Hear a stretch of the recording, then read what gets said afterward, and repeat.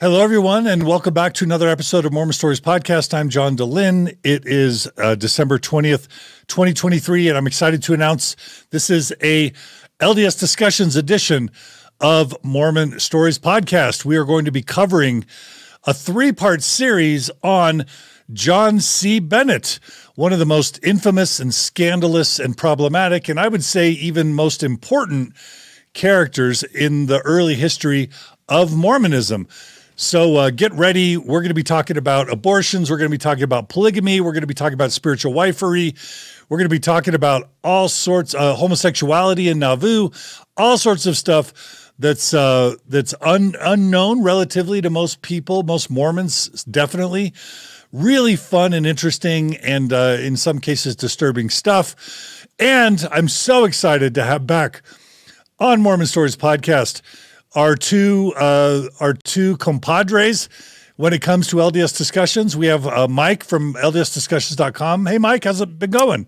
It's good. I had a nice break from our last. Our last episode was in the spring, so it's nice to uh, have a chance to kind of take that break and get refreshed and and um, excited because I think in this series I'm actually gonna be the one learning a lot. So I'm excited to to uh, to go through it. And uh, you know, like you said, John C. Bennett is a character that is so integral to to what happens in Nauvoo, and it's also something we covered in our previous episodes. But it was more about some of the things about him as opposed to kind of giving a, more more depth to to what he went through within the church. So I think it's going to be a really interesting one, and hopefully will add to our previous episodes as well. And Mike, why hast thou forsaken us? Where, where have you been, brother? I was so burned out after our last episodes that when we we finished what we had planned, we did get through what we had originally planned. So it's not like we cut in the middle. And I I remember getting done with that one and just being like, I need a break. Um, and and um, our last episode aired more recently. And I just want to say before we get going that I have gotten a lot of emails that have been so kind, and I will reply to them. I have been very busy with work the last couple months. So this, I think our last episode aired like three or four weeks ago. Um, so if you did email and you haven't heard back, I will get back to you. I promise. Um, but I just I didn't want to give like a generic reply to people, so I figured I would be better off just waiting until I had time to actually reply personally as opposed to just copying and pasting. So just want to throw that out there real quick. Well, we're delighted to have you back, Mike. I know my Thanks. viewership and listenership just uh, loves your your work, and you've you've been an important part of influencing a lot of people. And with that, I'm also happy to bring back Nemo from Nemo the Mormon across hey. the pond. Hey, Nemo. Hi, how you doing? How's it been? How's life? Oh, not bad. I'm I'm enjoying the beard that you've grown. It's been so long since since we've done this. That and isn't John's beard similar to mine, and yet in a very distinct way different? Let us know in the comments how they differ, perchance. Uh, no, it's looking great, John, and it's it's nice to be back. I'm giving boomer energy. I think I'm quoting you there. I'm giving boomer, boomer energy. energy. Yeah, yeah. That's Um, Nemo, you were you were uh, you were analyzing the total views on YouTube mm-hmm. of the LDS discussion series, and you have some happy news to, to share with us. Yeah, well, I mean, just the ones I'm in because you know that's all that really matters to me. Uh, there's 1.5 million views on those videos, so I'm sure the entire series has got somewhere in the region of two million, and that's just video, not even audio. Yeah, yeah, yeah, yeah. That's probably four million, and I have so many people I mean, a lot of people say that Mormon stories or, you know, CES letter have been really influential in their journey. I have so many people now telling me yeah. that the LDS discussion series has been instrumental in their coming to understand Mormonism better, which is a key goal value of the Open Stories Foundation is just informed consent. Mm-hmm. So Nemo and Mike, you guys have been a really important part of that. So thank you. Yeah.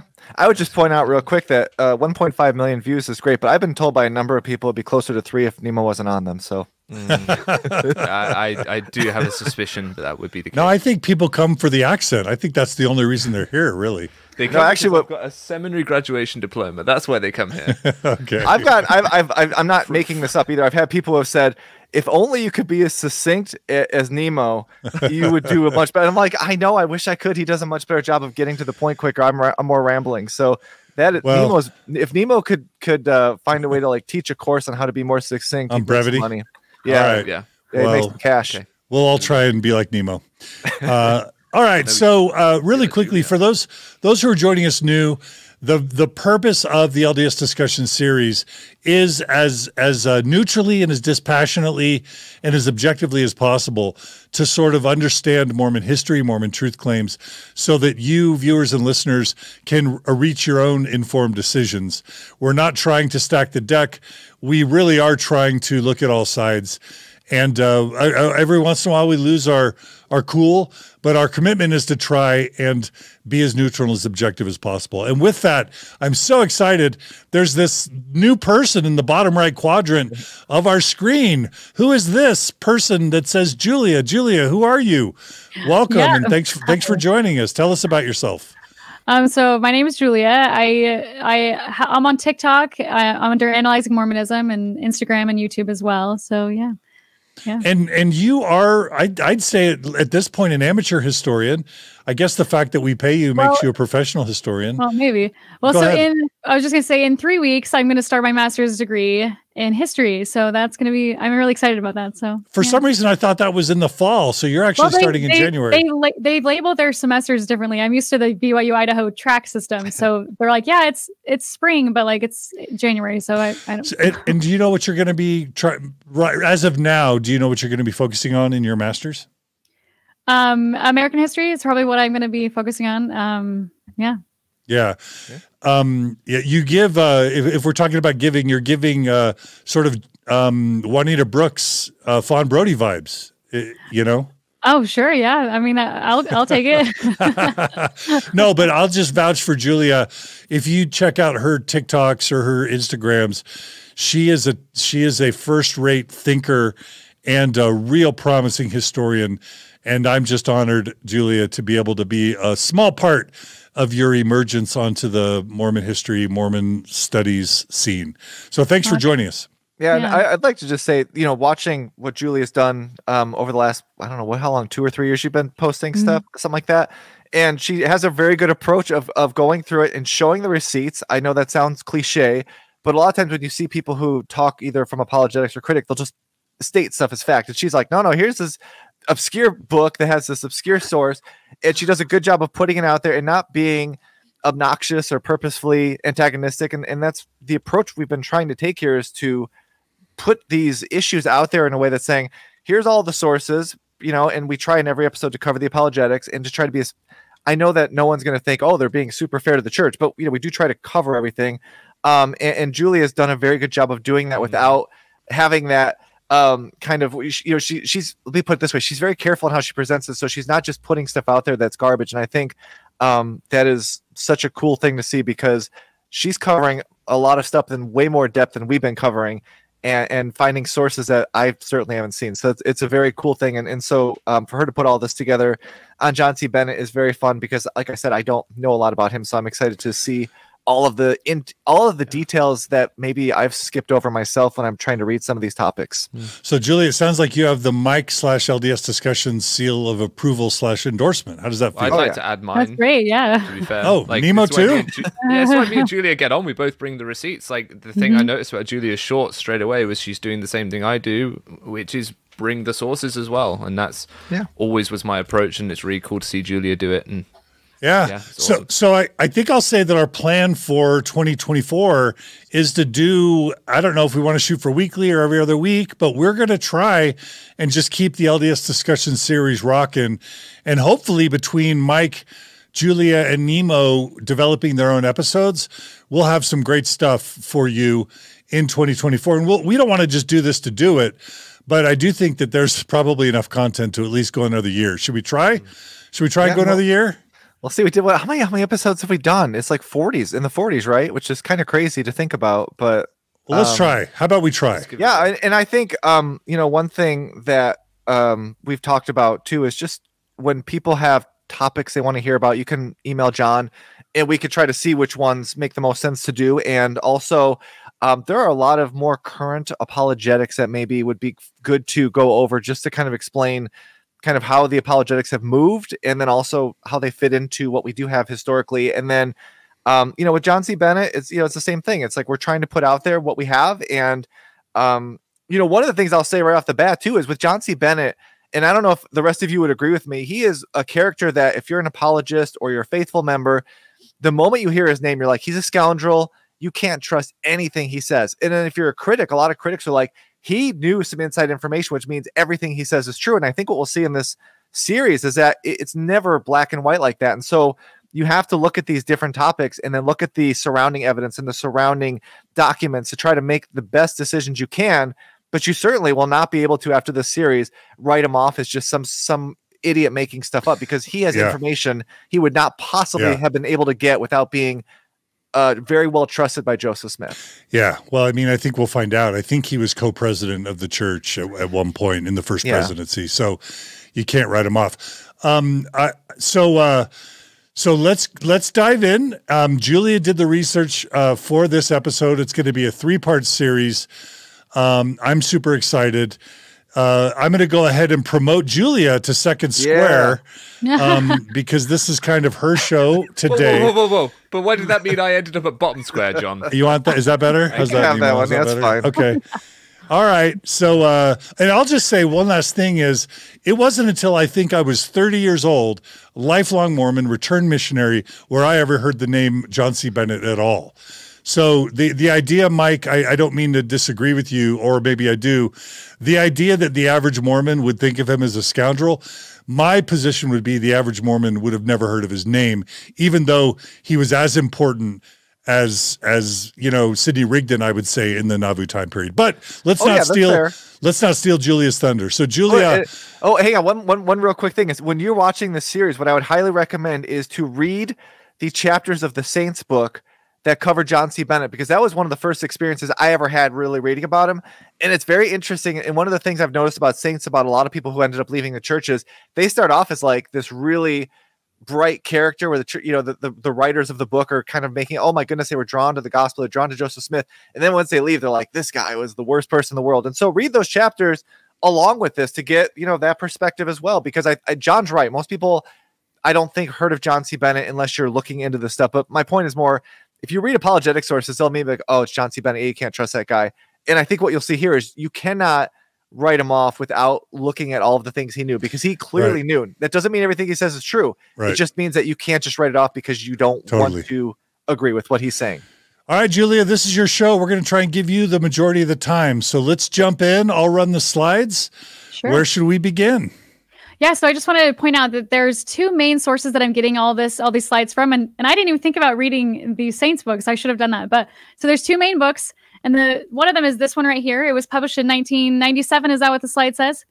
Um, by Andrew F. Smith. Yeah, 1997, yeah. Right. So it's out of print. Um, it's really hard to find. I think I had to grab this one on eBay or something like that. So I apologize if you guys can't find it while I'm promoting it. So so anyway, the so Saintly Scoundrel, The Life and Times Scoundrel. of Dr. John Cook mm-hmm. Bennett. Yeah. Okay. Yeah. So this is where this is a great book, great source for him. And then the next book, uh, if you go to the next slide, is his own expose where he that he wrote the, called "The History of the Saints" or an expose on uh, of Joe Smith and Mormonism, and that was published in 1842. So these are the main two texts that I'm getting all this information from. Other than you'll see other sources coming in, but yeah. All right, bring in the receipts and his own autobiography. That should count for something. So and we won't go into that very much today because we're talking. He doesn't write this till after he's excommunicated. So, but yeah. All right, let's jump yeah. in. Okay, so John Bennett's John C. Bennett's time in Mormonism encompasses less than two years. So he was baptized in September of 1840, and he was excommunicated May of 1842. But he began a correspondence with Joseph Smith in 1840s. So they wrote letters back and forth, and you can read all those letters. And then he was baptized in September of that year. Okay, all right.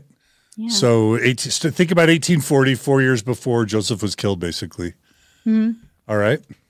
Okay, so pre Mormonism. So John C. Bennett was involved in the Campbellite movement, and he was also a Methodist preacher. So he's got a background. I think a lot of the people in the church have other religious aspects of their background. Um, anyway, so Joseph and Joseph Smith and Bennett had actually met in 1832 while he was working with Alexander Campbell, but Joseph did not remember him, and that and so the, the letters were sort of them getting reacquainted. Uh, people at that. This is one thing I think is super interesting. So, so we'll talk about this more later. But John C. Bennett, he has he's really big with tomatoes and he's really big with chickens and other things. Uh, but people people thought that tomatoes were toxic at the time.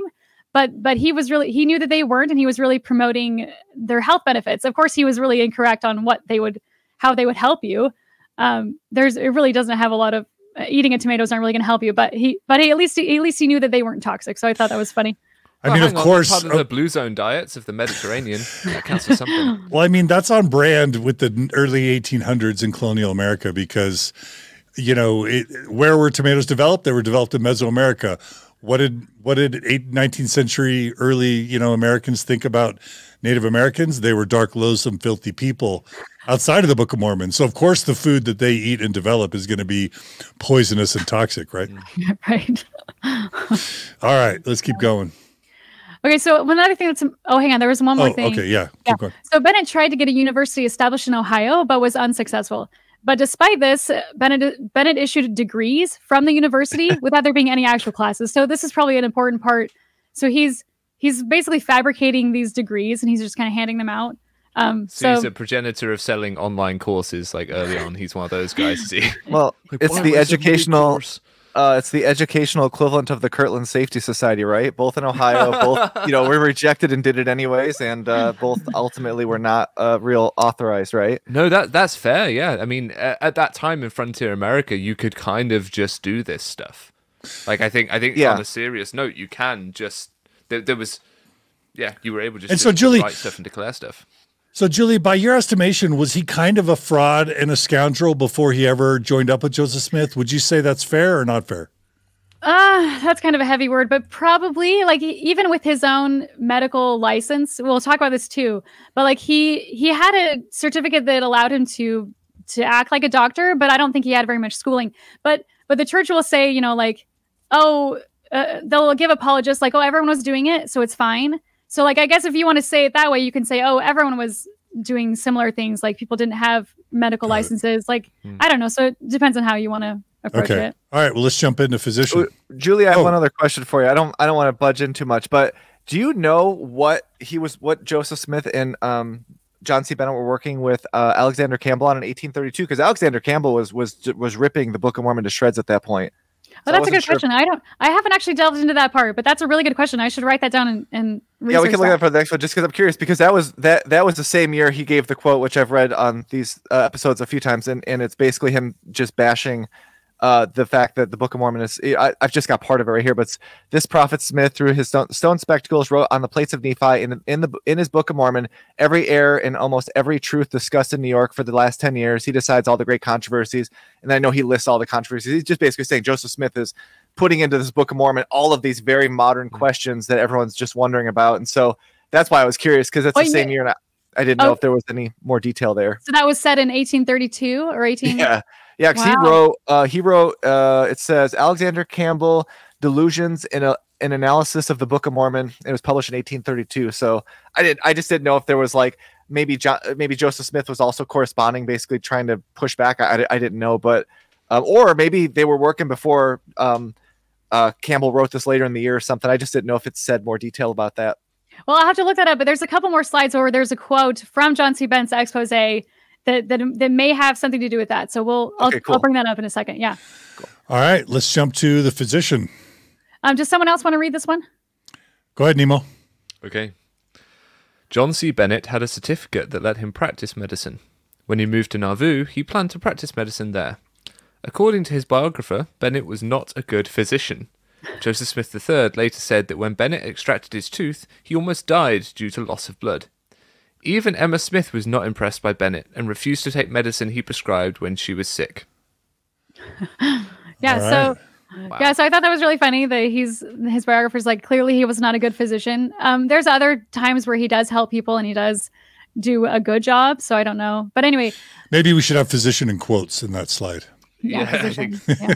But also back then, people were physi- physicians who didn't have the medical Yeah. background that we expect today. So Sure. yeah, Well, again, like with the university where he was just giving out certificates for classes that don't exist, there's, yeah, I guess that's the point I was trying to make about Frontier America, right? Things were different. yeah. All right. Let's talk about his conversion to Mormonism. Okay, so this is the this is the quote that might tie into Alexander Campbell. So in his expose, Bennett claimed to have never believed the Mormon doctrines, which I think is interesting. So he says, "It at length occurred to me that this the surest and speediest way to overthrow the impostor and expose his iniquity to the world would be to profess myself a convert to his doctrines and join him at the seat of his dominion. I felt confident that from from my standing in society and the offices I held under the state of Illinois, I should be received by the Mormons with open arms, and that the course I was resolved to pursue would, ena- would enable me to get behind the curtain and behold at my leisure the secret wires of the fabric and likewise those who move them.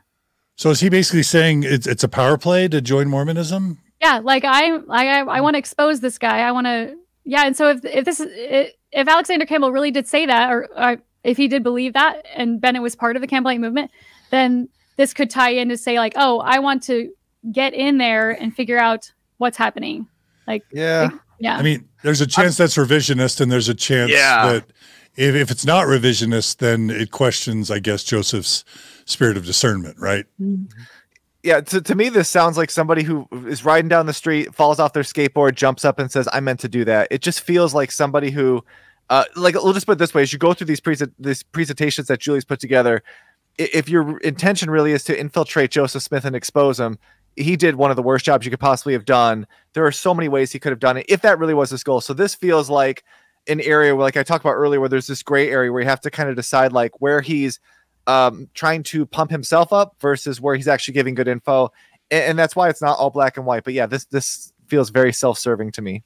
yeah. I was gonna say, and later later in the next in the part two, you'll see Bennett sets himself up as the hero in a lot of his stories when he's trying to expose polygamy. So like, yeah, he's just yeah, I agree with you. He's a he's a, is is he at times an unreliable narrator? Is that what we're saying? Oh yeah. Oh yeah, okay, for sure. Okay, okay. Mm. All right, let's go to his patriarchal blessing. Okay, so I just thought this was interesting because it reminded me a lot of the Lori Vallow, Chad Daybell type stuff that we're hearing about now and Ruby Franke and stuff. So John C. Bennett got his blessing on September 21st of 1840. So so really quickly after he was baptized. Um, he was blessed to have to have great power among the children of men and shall have influence among the great and noble, even to prevail on many and bring them to the knowledge of the truth. Thou shalt prevail over thy enemies. It went on to say that God's favor shall rest upon thy, thee in dreams and visions. So, uh, um, very similar to what we hear nowadays, and that he would have power to heal the sick, cause the lame to leap with to leap like a hart, the deaf to hear, and the dumb to speak. So, in his blessing, he's being blessed to be a good physician. and their voices shall salute thine ears. It also promised that thou shalt have power over the winds and the waves, and thou shalt obey.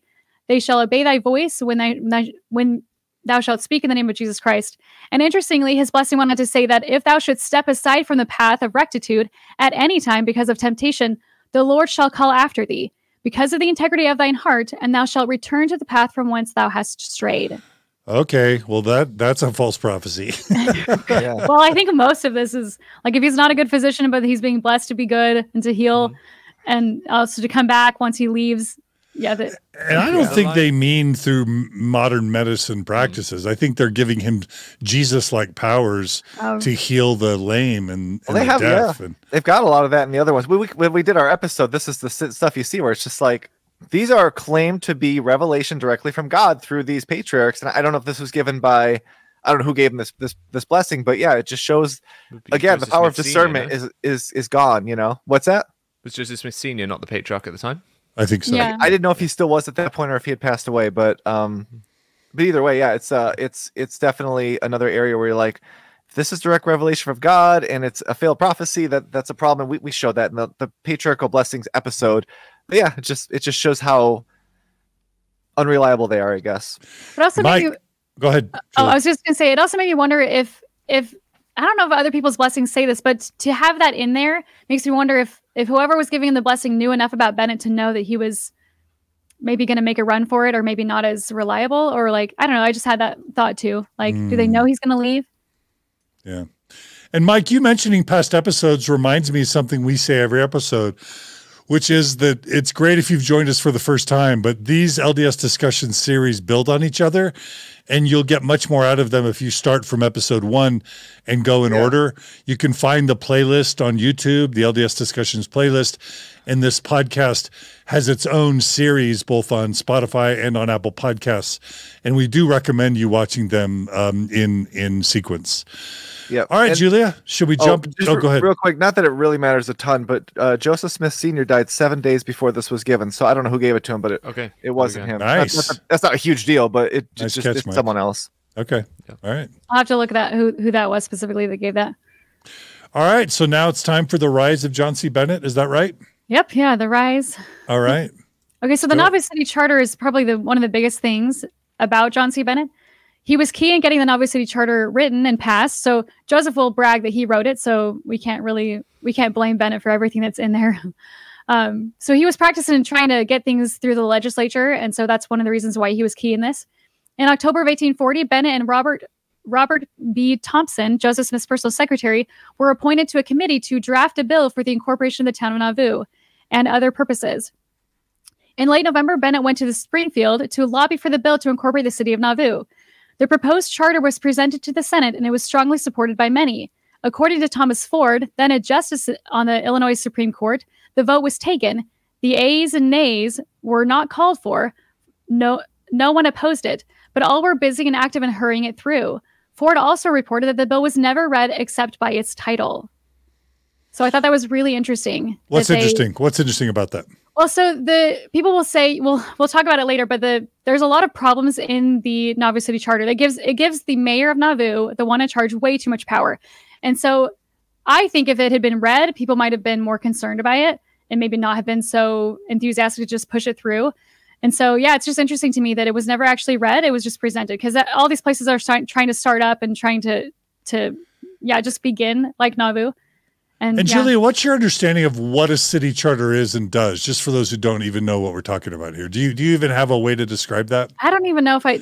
If you guys I- have another, Maybe it's just like the constitution for a city, the balance of power, the the the structure. You know, the mayor, the city council, who does what? the, yeah. the, the legal system. Like I'm guessing, it it's everything that would go into the balance of power, the governance, the rule of law, Mm-hmm. and apparently the this this charter gave a lot of power to Joseph Smith.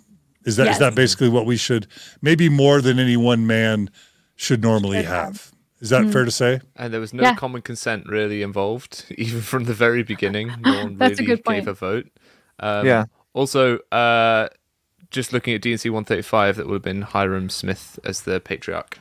Okay. Um, would have given that blessing to John C. Bennett. Thanks, Nemo. All right, let's go to the next slide on the city charter continued.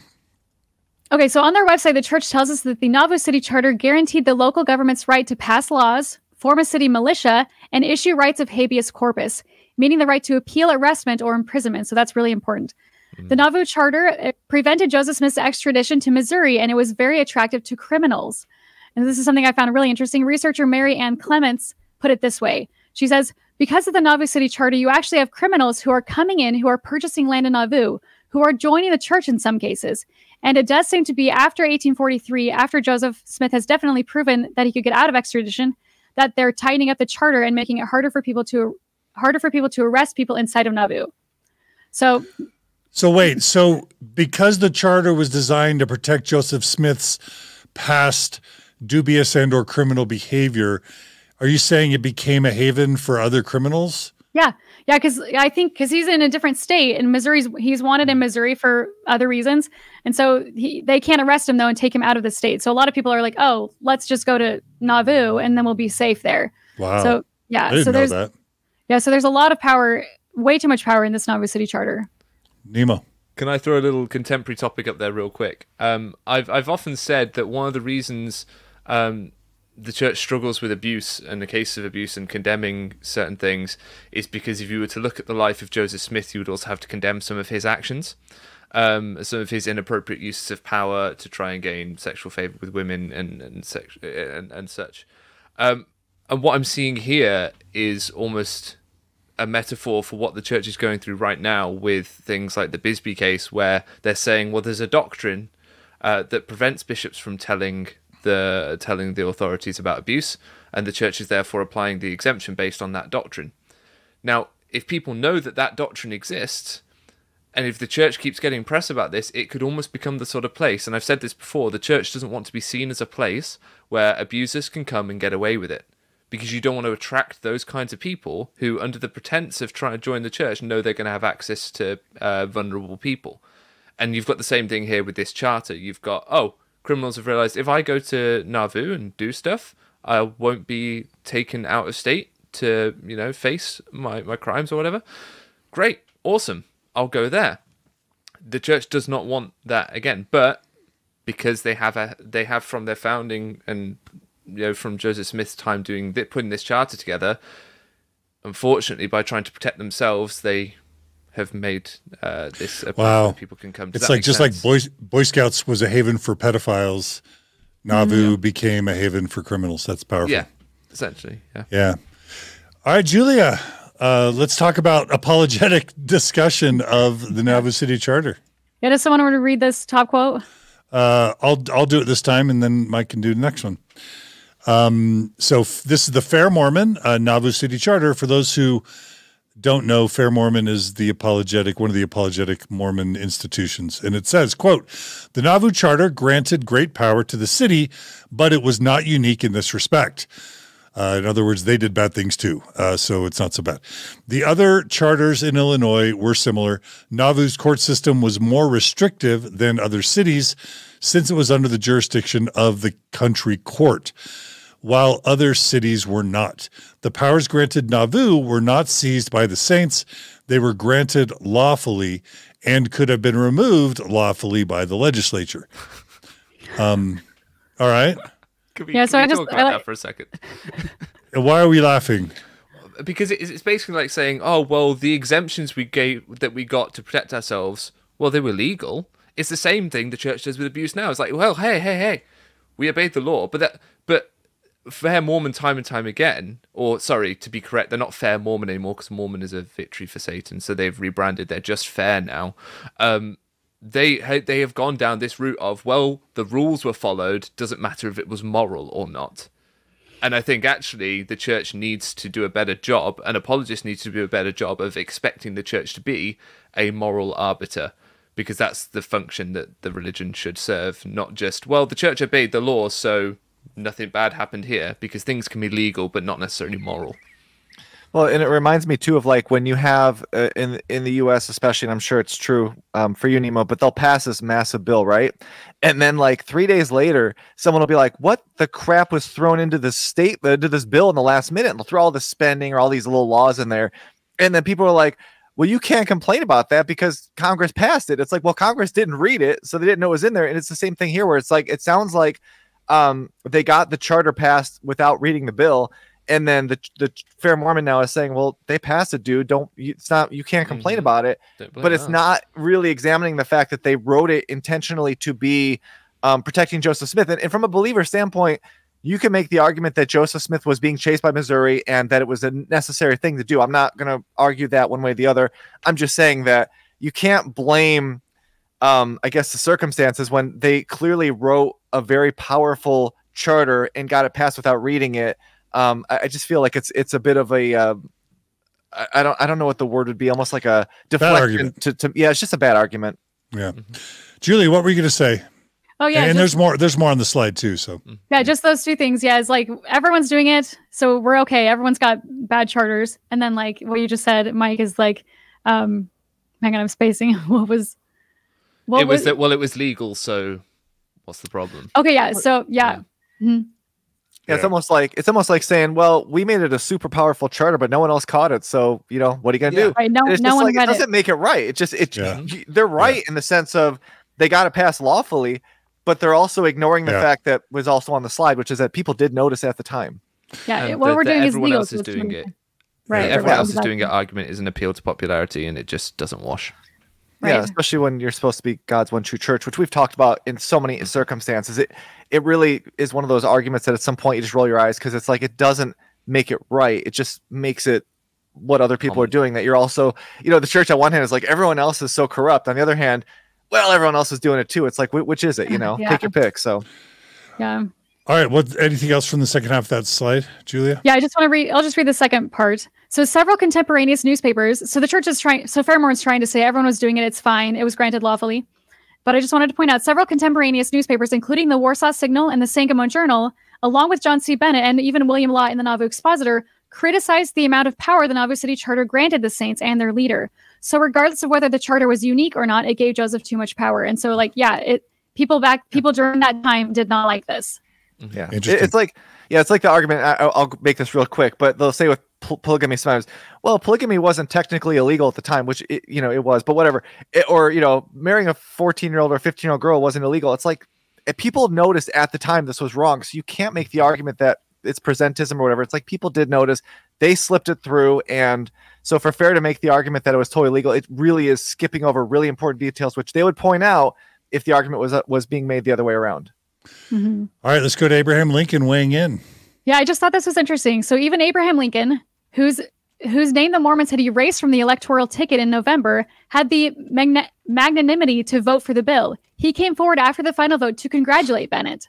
So I just thought that was interesting. So Bennett has a little, or not Bennett, um, Abraham Lincoln has a little bit of play in Mormon history, and the Mormons didn't like him. Um, but he was just like, "Hey, congratulations on getting this charter passed," and I just thought that was interesting. What a nice dude. Yeah. All right, let's go to the quartermaster general. Yeah, so Bennett served as a quartermaster general from 1840 to 1842. And does, does somebody want to give the definition of what a quartermaster general is? Go for it, Mike. Uh, a quartermaster general is the staff officer in charge of supplies for a whole army. He is in charge of quartermaster units and personnel. Um, so those tasked with providing supplies for military forces and units. Okay.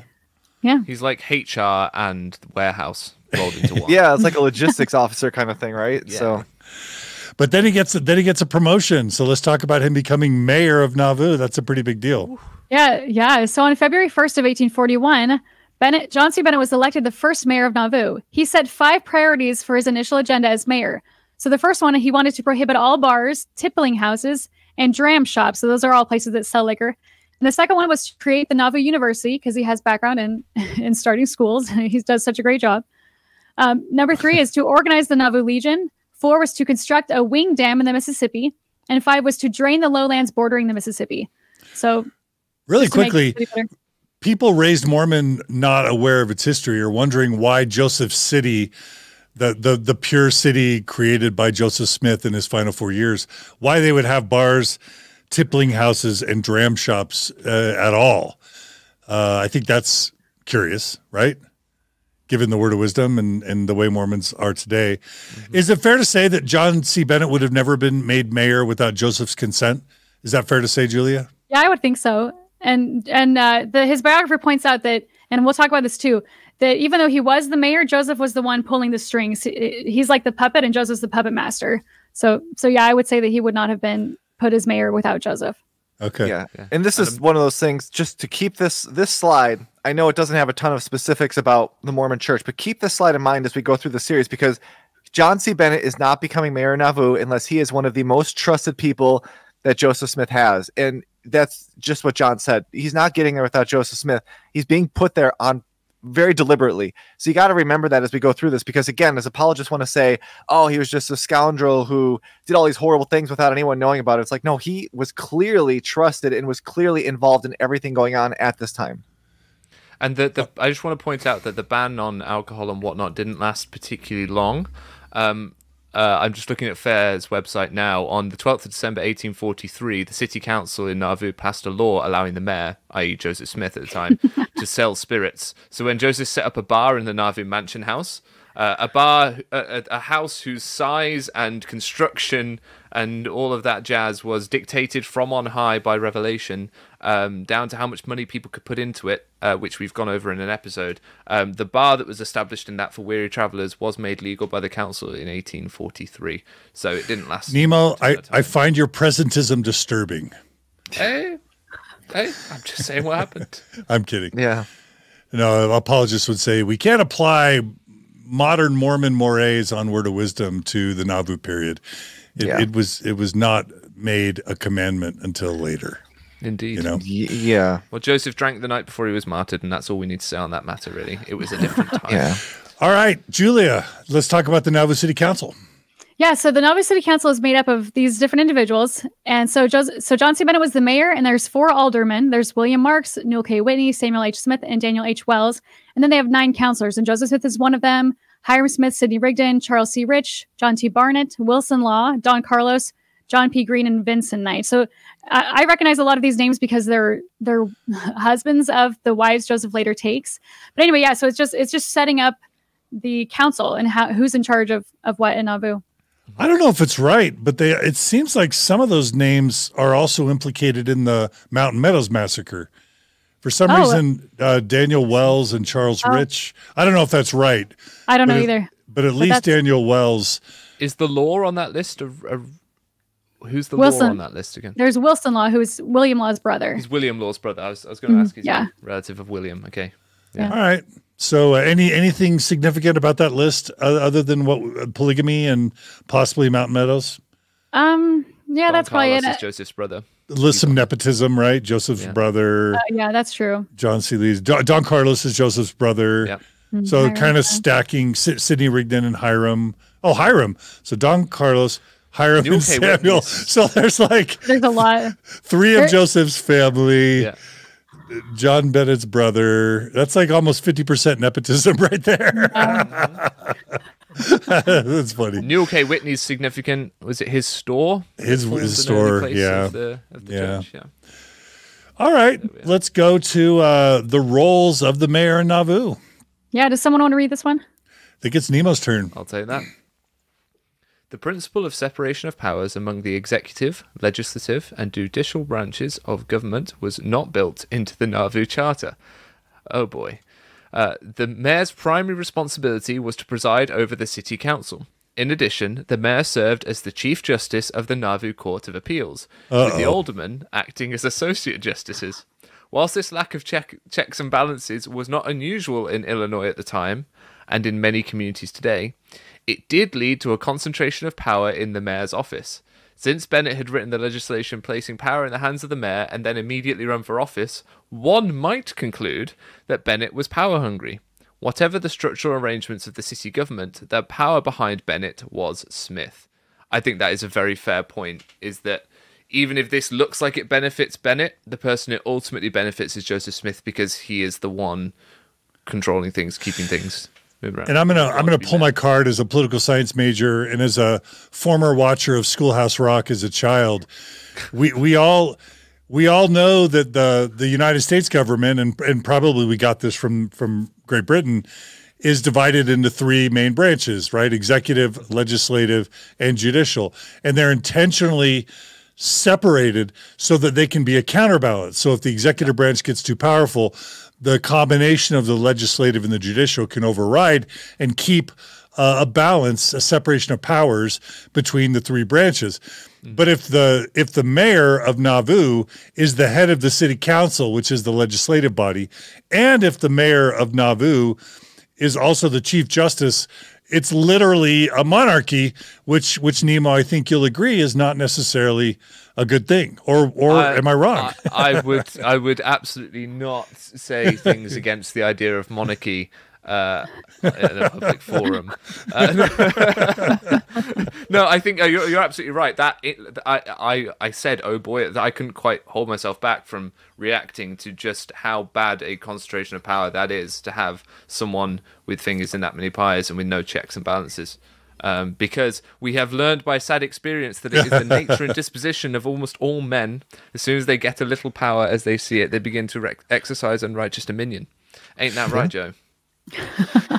Well, and, No, and go ahead, oh, go ahead, Mike. I was just gonna say when we did our episode like on the priesthood restoration, that was one of the things I point out. When you look at the timeline, Joseph Smith is continually coming up with revelations that set himself above, above, above. Every time there's someone else who's like, "No, I'm I'm at the same authority as you." He's like, "Not anymore." Just got revelation, and and this feels like now that they have an actual city to run, that exact same approach is coming. Where he's like, "Okay, I'm making it so that I can do whatever I want," and basically, it's now codified in the law, so there's no one who can really stop me. And so it definitely is, as Julie pointed out, feels very intentional that John C. Bennett helped write the charter, became the mayor. It's almost like he was writing this knowing that he was going to be taking it over.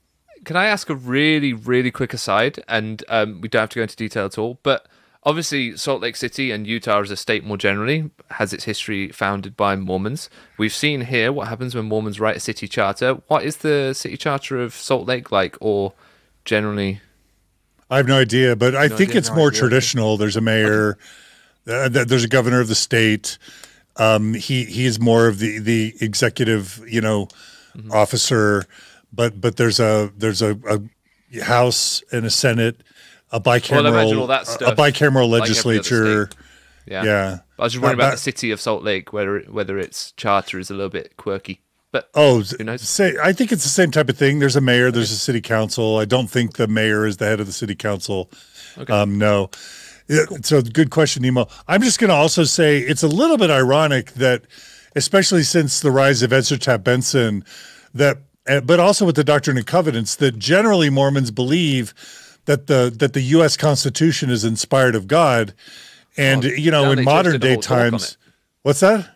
Dallin H. Oaks did a whole talk on it a couple Right. of conferences ago. The divinely inspired United States Constitution. Sorry. Yeah, so I guess it's a little bit weird to me that we would we would hold up the U.S. Constitution as being inspired, and it's structured as a as a tricameral, sort of as a three three part balanced government. But then in the government that Joseph Smith custom builds, he really seeks to erode uh, the balance of power. That's a weird irony. And and freaking Julia, we haven't given you any any space to opine on this. So Julia, anything you want to say about this slide? We apologize. No, you guys covered that really well. Can you can you show it again? Okay, Uh, yeah, I think you guys yeah. covered that really well. Okay. All right. Yeah. All right. So let's go to University of Nauvoo, University of John C. Bennett. Yeah. So the University of Nauvoo was founded in 1841. So wait, I just want to say something too. So I I grew up in Missouri, so Nauvoo is not very far, and I grew up going to Nauvoo all the time. Like it was like almost every year, every other year as a child. And I've never, I had never heard of the University of Nauvoo, and we just went um, a year ago with my like as an ex Mormon. Um, and yeah, never heard of this. So this is all new to me. Cool. Uh, Yeah. Anyway, okay. So it was founded in 1841. Terrell Gibbons wrote, "The University of Nauvoo was founded in an era when, as Richard Hofstadter writes, most colleges were precarious little institutions, um, domination domination ridden, poverty stricken. In fact, no colleges at all, but glorified high schools or acad- aca- or academies that presumed to offer degrees. Nauvoo University had no campus, but it was still a university in more than aspiration." So I thought that was interesting. So it's not really. So it's just a. It's what you think of like home, almost like homeschool, I guess. There's no real campus for this. Okay. Um, Interesting. All right. And then in January of 1841, Joseph Smith wrote, The University of Nauvoo will enable us to teach our children wisdom, to instruct them in all knowledge and learning, in the arts, science, and learned professions. We hope to make this institution one of the great lights of the world, and by it and through it, to diffuse the kind of knowledge wh- which will be practiced, which, which will be practicable. Scott, sorry, which will be practicable utility and for the public good, and also for the private and individual happiness. So what does all that mean? I liked that quote. I liked that it was like gaining knowledge and things like that. I think it's interesting that how quickly the um, university failed. Um, but I do appreciate his, his saying that. The aspirations, the intentions had at least some good to them. Right. Right. Yeah. I mean, Mormonism's co- code is often like the glory of God is intelligence, right? I don't think it's fair to say the Mormon church is against education. I just think they're against education that might deteriorate faith, right? Otherwise, I think the Well- church is generally pro education. Well, and I push that a little bit with, with as far as women in regards to women getting an education. I That's don't. true. I, I feel like that's very different than than a man's education. So, yeah. I'm so glad you're in our panel, Julia. Otherwise, we would have sailed right past that. It makes me think of BYU, though, right? And it, it seems like a pattern time and time again um, that Joseph Smith will try some things and they will fail. Uh, and I think this is where Brigham Young was very successful as an organizational mind, that he was able to actually bring to pass a lot of things that Joseph Smith tried to do and wasn't able to necessarily do. So you've got now Brigham Young University, uh, which is, I mean, could I call it a shining light? Um, it's John's alma mater, but still, hey, watch out, Nemo. Be careful. John's very a- careful. What, what is it? A cougar? Is that what they call you? Is you Watch out, Nemo. You're treading on thin thin ice. Actually, I'm three times. I'm I'm three times the Aggie of Utah State University. I have three degrees, technically three degrees from Utah State and one from BYU. So I'm three times the Aggie that I am the Cougar. What's an Aggie? Utah State is the Okay. it's agricultural person. Oh, I see. Anyway, Right. we're off track. Nice. Sorry, but no. But the point is that you know, ed- like you said, education is of a value, and when the church was able to set up a university properly, they have done, and it has continued and, and worked. They've tried to set up Nauvoo University again, by the way. I was just doing Oh, they- a, a quick bit. Of Oh, wait, I think it was it 2016. I think I did or something like that. 2009 to Oh, 2010 nine, okay. it lasted one year and then they kind of turned it into a bit of an online I forgot about program that. that, That's really kind of funny. is just lost to the ages so Fascinating. I wonder why that didn't take off. I they wonder what's- cited insufficient funds and donations as the reason for its Oh, closure come which if the church had wanted it to Yeah, succeed they could have was gonna plowed money into that If only There's there was a place that had money. There's nobody in yeah. Nauvoo. There's no. Maybe there's No, nobody in that's the Rexford too. So I don't know. I don't know if that's a good argument. Universities are super expensive. I, I for some Oh, reason yeah. I think BYU costs the BYU's cost the church like a billion dollars a year if you add up all the. I, I, and I'm making that number up, but it's a lot of money. So it, it's a non-trivial thing to try and run a Division One reputable university. You know. Yeah.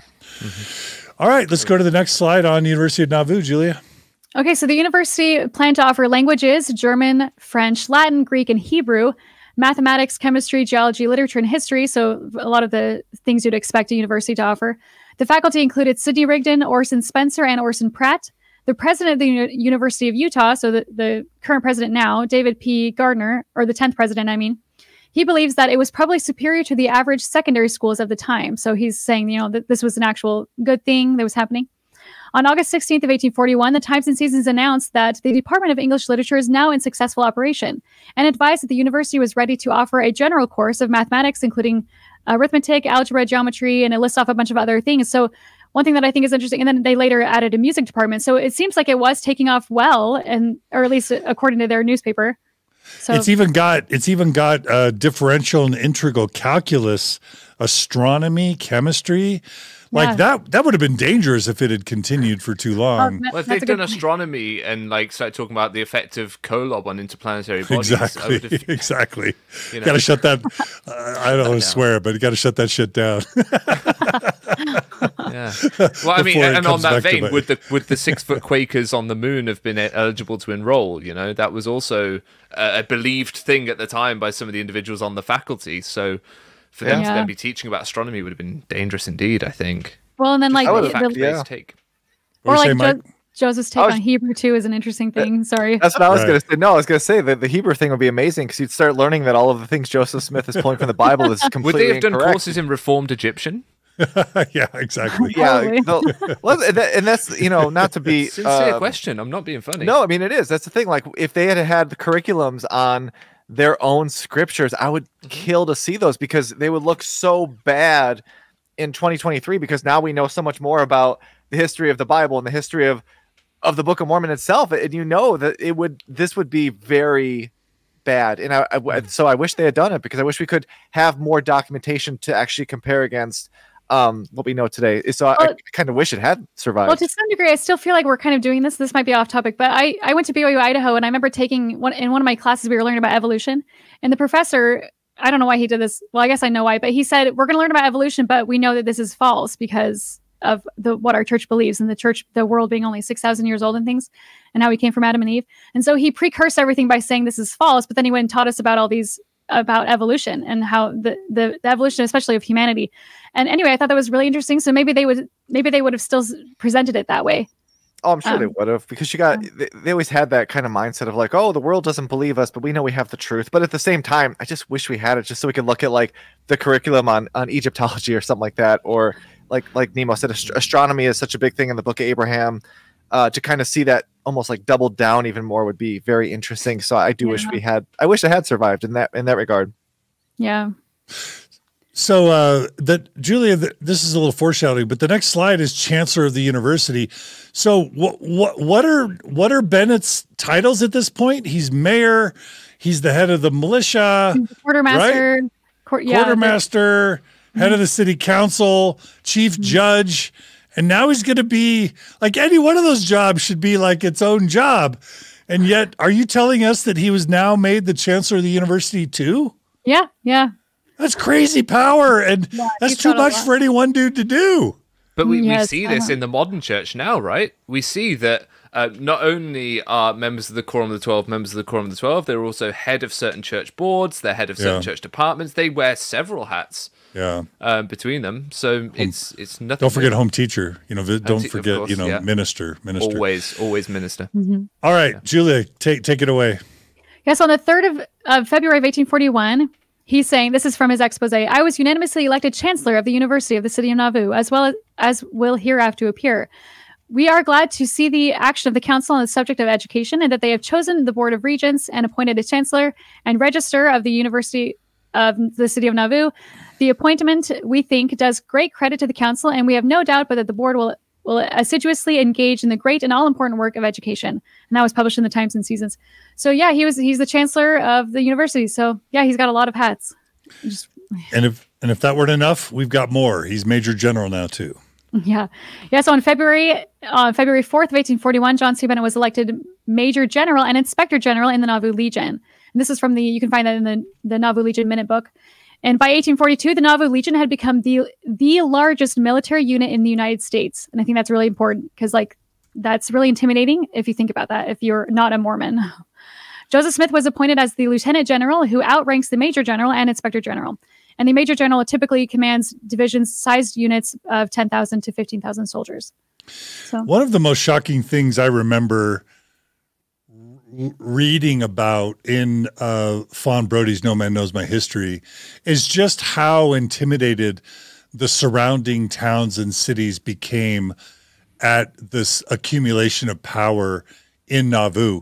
And as I understand it, and we may get to this, at some point, the, the Nauvoo Legion is marching around neighboring towns as sort of this display of force to threaten people um, to, to, back off and not interfere in what's going on in Nauvoo.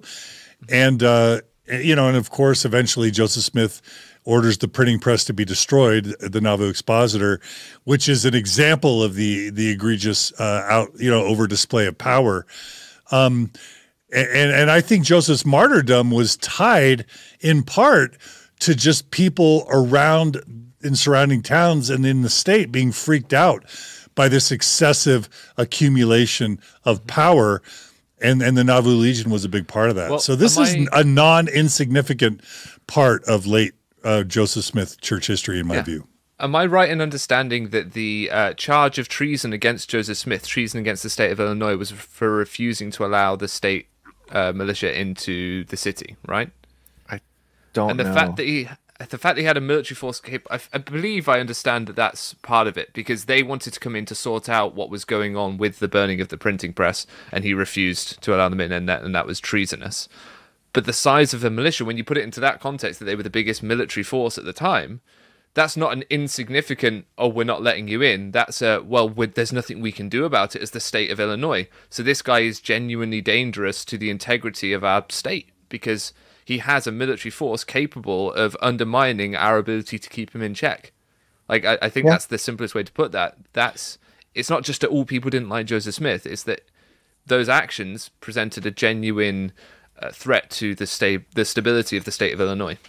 Yeah, yeah and they said uh, with the um, the, you know the martyrdom after the the expositor is burned, um, that some of the people who were involved had, I believe, said that one of the reasons was they did not believe he would ever be tried in a fair uh, trial because they had used so many legal tactics to undermine the ability of them to to extradite him and, and to, to actually try him. And so there's this building fear from all the people that are not Mormon outside of there that one, they're consolidating power. Now they're consolidating an army. They're circumventing the law. And, and so you have all of these things, and it just makes all of these people on the outside uh, very like fearful, very suspicious. And then at some point, and, and, again, I'm not saying it's right. I wish Joseph Smith had lived. I, I, do not in any way am not happy that he was killed. I wish he had lived a long life and done a lot more. Um, but that led to that boiling over because all of a sudden you see him getting away with it. And it's there's a breaking bad uh, moment where, where Jesse's like, he can't keep getting away with this. And I think that was what people felt because he had constantly used th- these laws in Nauvoo to to keep escaping. And so eventually you've got an army and all these things. It just makes people so afraid and and that leads to to decisions like that which are um, unfortunately not good but it, it is what happens when people get really nervous and they see a growing threat. Yeah. Any other insight julia from you? No i think that was good. Okay. Well if this if all this weren't enough with john c. Bennett's accumulation of power and position he's then added to the first presidency. Yep yeah, so on the seventh day of April of 1841, he says, I was elected to the first presidency of the Mormon Church, as will be seen by the reference on the conference minutes published in the Times and Seasons. And then he says, uh, it was said, so the Times and Seasons says John C. Bennett was presented with the first presidency as assistant president until President Rigdon's health should be restored. So he's he's second chair in the church. I mean, if ever there were a glaring uh, fracture of of you know knowing knowing what we're going to learn about John C. Bennett later. If ever there were a glaring in you know um, instance of a failure of discernment and of revelation uh, on, on the part of Joseph Smith. It's it's this it's this decision. Am I wrong? Am I overstating that? Oh, that's good. Yeah. It's been it's been seven or eight months since he got his patriarchal blessing. He's now mayor. He's running a university. He's basically second command of an army, and he's in the first presidency in seven or eight months. Like Yeah. I, I just Since it- he's been a member, right? yeah. Or- like, ju- Joseph Smith is is really really good at keep your friends close but your enemies closer. Exactly. Yeah, that's just it. And um, I, I'm 99% sure it was Lindsay Hansen Park who had said this in a podcast. It could have been with you or your me. and she had mentioned how. ev- A lot of times, in, when people talk about church history, they're like, "Oh my goodness, Joseph Smith was betrayed by all these people, these horrible people," and she's like, "No, he picked these people because they were able to do what he needed them to do. They just ultimately, you know, at some point there was a falling out for all sorts of reasons. These people are not there by by accident. You know, the discernment thing. Obviously, we as we've talked about previous episodes, I don't believe that's a real thing, as we can illustrate in a hundred different ways within Mormonism. This was Joseph Smith's own personal discernment. He wanted John C. Bennett there because this was a guy who was able to do what he needed done, who he trusted. Ultimately, it's going to come back to bite him, but he is not there by accident. Joseph Smith is putting him here in seven or eight months. You know, this is why when apologists make this argument that John C. Bennett was always a scoundrel, it's like, no, this, this is Joseph Smith putting every trust he can in this guy after seven or eight months and having him involved in everything he's doing. And, and you cannot get away from that. Yeah. And if that weren't enough, we gotta we gotta talk about ketchup, Julia. Okay, I just wanted to add this. so, as the mayor of Nauvoo, and and he he published a lot concerning the tomato. And so, in one of the times and seasons, there was a fun little excerpt where it says, "Dr. Bennett is of the opinion that the most of the bilious affections." Um, to which our citizens are subject to during the hot season can be prevented by the free use of the tomato. We are of the same opinion, and as health is essential to our happiness and pros- prosperity as, pe- as a people, we would earnestly recommend its culture to our fellow citizens and its general use for the culinary practices purposes culinary purposes. Do not de- do not neglect it. So I just thought that was really fun. I mean, that's I mean, kudos to freaking John C. Bennett because who doesn't love the tomato, right? Yeah. Can you imagine? I, I I think of French fries as a ketchup delivery vehicle. I That's say what- tomato, you say tomato, but in the Well- end, it's an important fruit. It's Oh, yeah. crucial. It's essential. It's almost like it is. the blood of my veins is ketchup. Well, and then and then what later in I think it's part three. Uh, John C. Bennett invents uh, certain chickens that will that are popular today. So Nice. so yeah. Yeah. So- Well, and, All and right. Utahns, hang on, Utahns love ketchup so much that you have decided that it is not enough to eat it on its own. You must combine it with mayonnaise. Which is Yeah. disgusting. we Absolutely love ketchup so much we dilute it with mayonnaise and make fry Oh, sauce. awful. And it was brought to me with everything. Just this pink sauce on the Oh, side. it's so gross looking. It's like, why is You- there you too. Oh, it's not. It's Th- this person's smart. These two people down below. Yeah. This guy, like, and oh. this guy, not so smart. Let's take something that's great and then put something awful in it, and make it look like it's infected. Easy cast. yeah. Did you just call fry sauce pus? Is that what you just did? Uh, I mean, that's what it looks like. Yeah. Mike, you're kicked off of, of LDS discussion. I want you all to think of that next time you dip your fry in one of those cups of ooze. This is the quality content and, and analysis that people come here for. Yeah. have we jumped the sh- have we jumped the shark? Have we just officially We've jumped the shark? too early. All right. The next episode is going to be on the benefits and, and uh, cr- criticisms of fry sauce for sure. Yeah. Uh, it's definitely a Mormon topic. All right. So if all this weren't enough, what is the master in chancery, Julia? Yeah, so he's even higher uh, now. Another hat to add. So on the sixth day of May of 1841, Bennett was appointed Master in Chancery of for Hancock County. So a Master in Chancery is an office appointed by a court of equity to assist the court. In English law, it refers to a senior official or clerk of a court of chancery who assists the chancellor in various duties, such as inquiring into matters referred to by the court, examining cases, taking oaths and affidavits, which he you'll see how he puts that into practice later, hearing testimony, and computing damages. How can he be the head of the like the chief justice and the master in chancery? he's he's the mayor. He's second in command of the military. He's second in command of the church. Now he's got his fingers in the judicial system as well. But not And just he's the head of judge part. education. Yeah. No, I mean, John, This can you put that slide back up real quick? Yeah, sure. just I want people to understand. Remember, this is Joseph Smith's right hand man who has now got basically I don't want to call him a spy, but he's got a guy who could go back to Joseph and tell him all of the testimony being done, all of the oaths, Mm-hmm. all of the cases being brought up, and so all of this stuff is starting to happen now. As, as we'll get into in the, the next few the next few episodes, all of these crazy things, all these accusations are happening, which Joseph Smith is involved in, and he's got somebody inside the court who gets to hear all of it before it gets out, and I think that's you a know what- really important place for him to be. Dude, you know what this reminds me of is Putin. So Putin was president for whatever Russia's constitution allowed. And then even though he was like at the height of his power, he bizarrely stepped down and let someone else become president. But it was pretty clear that Putin was always sort that that, that president that succeeded Putin was always a puppet. And that became really clear when eventually that president goes away. Putin reascends to the presidency and has been president of Russia ever since. So, yeah, it, really feels like something similar is going on in Nauvoo. Well, and and just to put it like I don't want to do it like the mob or the mafia, but let's just say you're some giant corporation, like say you're Walmart in Arkansas, right? So you you you're Walmart, you're in Arkansas, and you're able to appoint somebody to Walmart's uh, main police force in the area, and they get to listen to all of the oaths and testimony of all the people that might bring lawsuits against you for all sorts of things. All the people are making accusations against your product, and then you've got somebody who can go back to you on the side, and like, here's what people are saying, here's what's coming through, what do we need to do? It, it's it's a it's a really unethical thing to have your right hand man be involved in all of these things, especially as we get to in these next few episodes, where jo- Joseph Smith himself is embroiled in, in a lot of um, problems, whether it's uh, polygamy or people arguing about uh, land deeds and stuff like that. And so it really, this one feels more unethical than the other ones to me personally. So, John, are you, are you saying that John C. Bennett is Joseph Smith's Dmitry Medvedev? Is that Exactly. Google for the win. Nemo and Google for the win. yeah? That's good.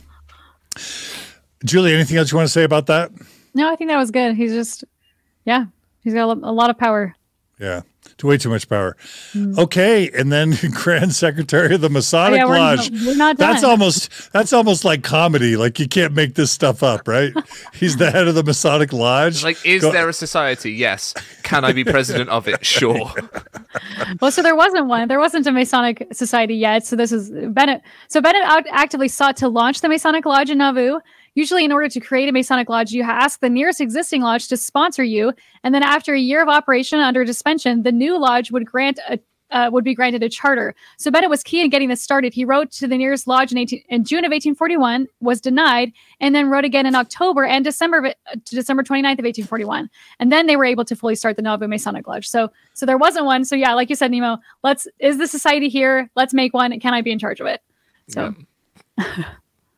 I mean, it's just it's just unbelievable. And I I did not know. You know, obviously the Mormon temple ceremony currently was plagiarized in large part from the Masonic Lodge, even more so eh, before it was sanitized multiple times by the mm-hmm. church. I had no idea John C. Bennett was at, at ground zero Yeah, of the Nauvoo Bennett. Lodge, you know, Nauvoo Masonic Lodge.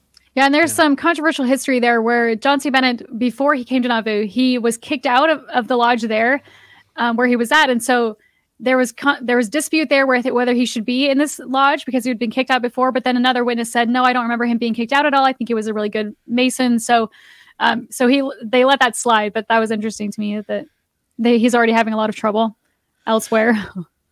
So I so I I I think it's worth just stating, isn't it mind-boggling? You know, all Mormons have heard of Martin Harris. All Mormons have heard of Oliver Oliver Cowdery. All Mormons have heard of Brigham Young. You know, Emma Smith. Like there, there's so many early Mormons that that every Mormon will have heard of growing up. Isn't it bizarre that there was no more powerful man in Nauvoo, second to Joseph Smith and John C. Bennett, and that pretty much all of us reached into our 20s to 40s before we, as lifelong Mormons, ever heard the name John C. Bennett. Isn't that another example of how much power the Mormon church has over controlling information to its members? Isn't that mind boggling? Yeah. Yeah. Well, like I made the joke earlier, I have a seminary graduation diploma right there, uh, and I didn't learn about John C. Bennett. And and I I paid attention. I went to every single one of my seminary lessons. I got 100 percent attendance, and I did not Yeah, never heard John the C. name. Bennett with anyone. Never heard the name. Yeah. Yeah. Yeah. So let's do the overview. Let's summarize, Julia, all his positions, and then I have a question. Yeah, so this is just the the whole list of all the hats that he's wearing. So September of 1840, he was baptized. September 21st, he gets his patriarchal blessing. February 1st of the next year, he becomes mayor. February 3rd, so just a couple days later, the chancellor of the university. And then the next day, he becomes the major general and inspector general. And then April 7th of 1841, the assistant to the president. And then May 6th of 1841, master in chancery. And then December of 1841, he becomes the grand secretary of the Nauvoo Masonic Lodge. So, so I, I have two questions. The, the first question is what in the freak was Joseph Smith doing if John C. Bennett was doing all this stuff? Uh, I don't know if there's a, do, do any, like, do any of you have an answer to that? Like, what was he doing?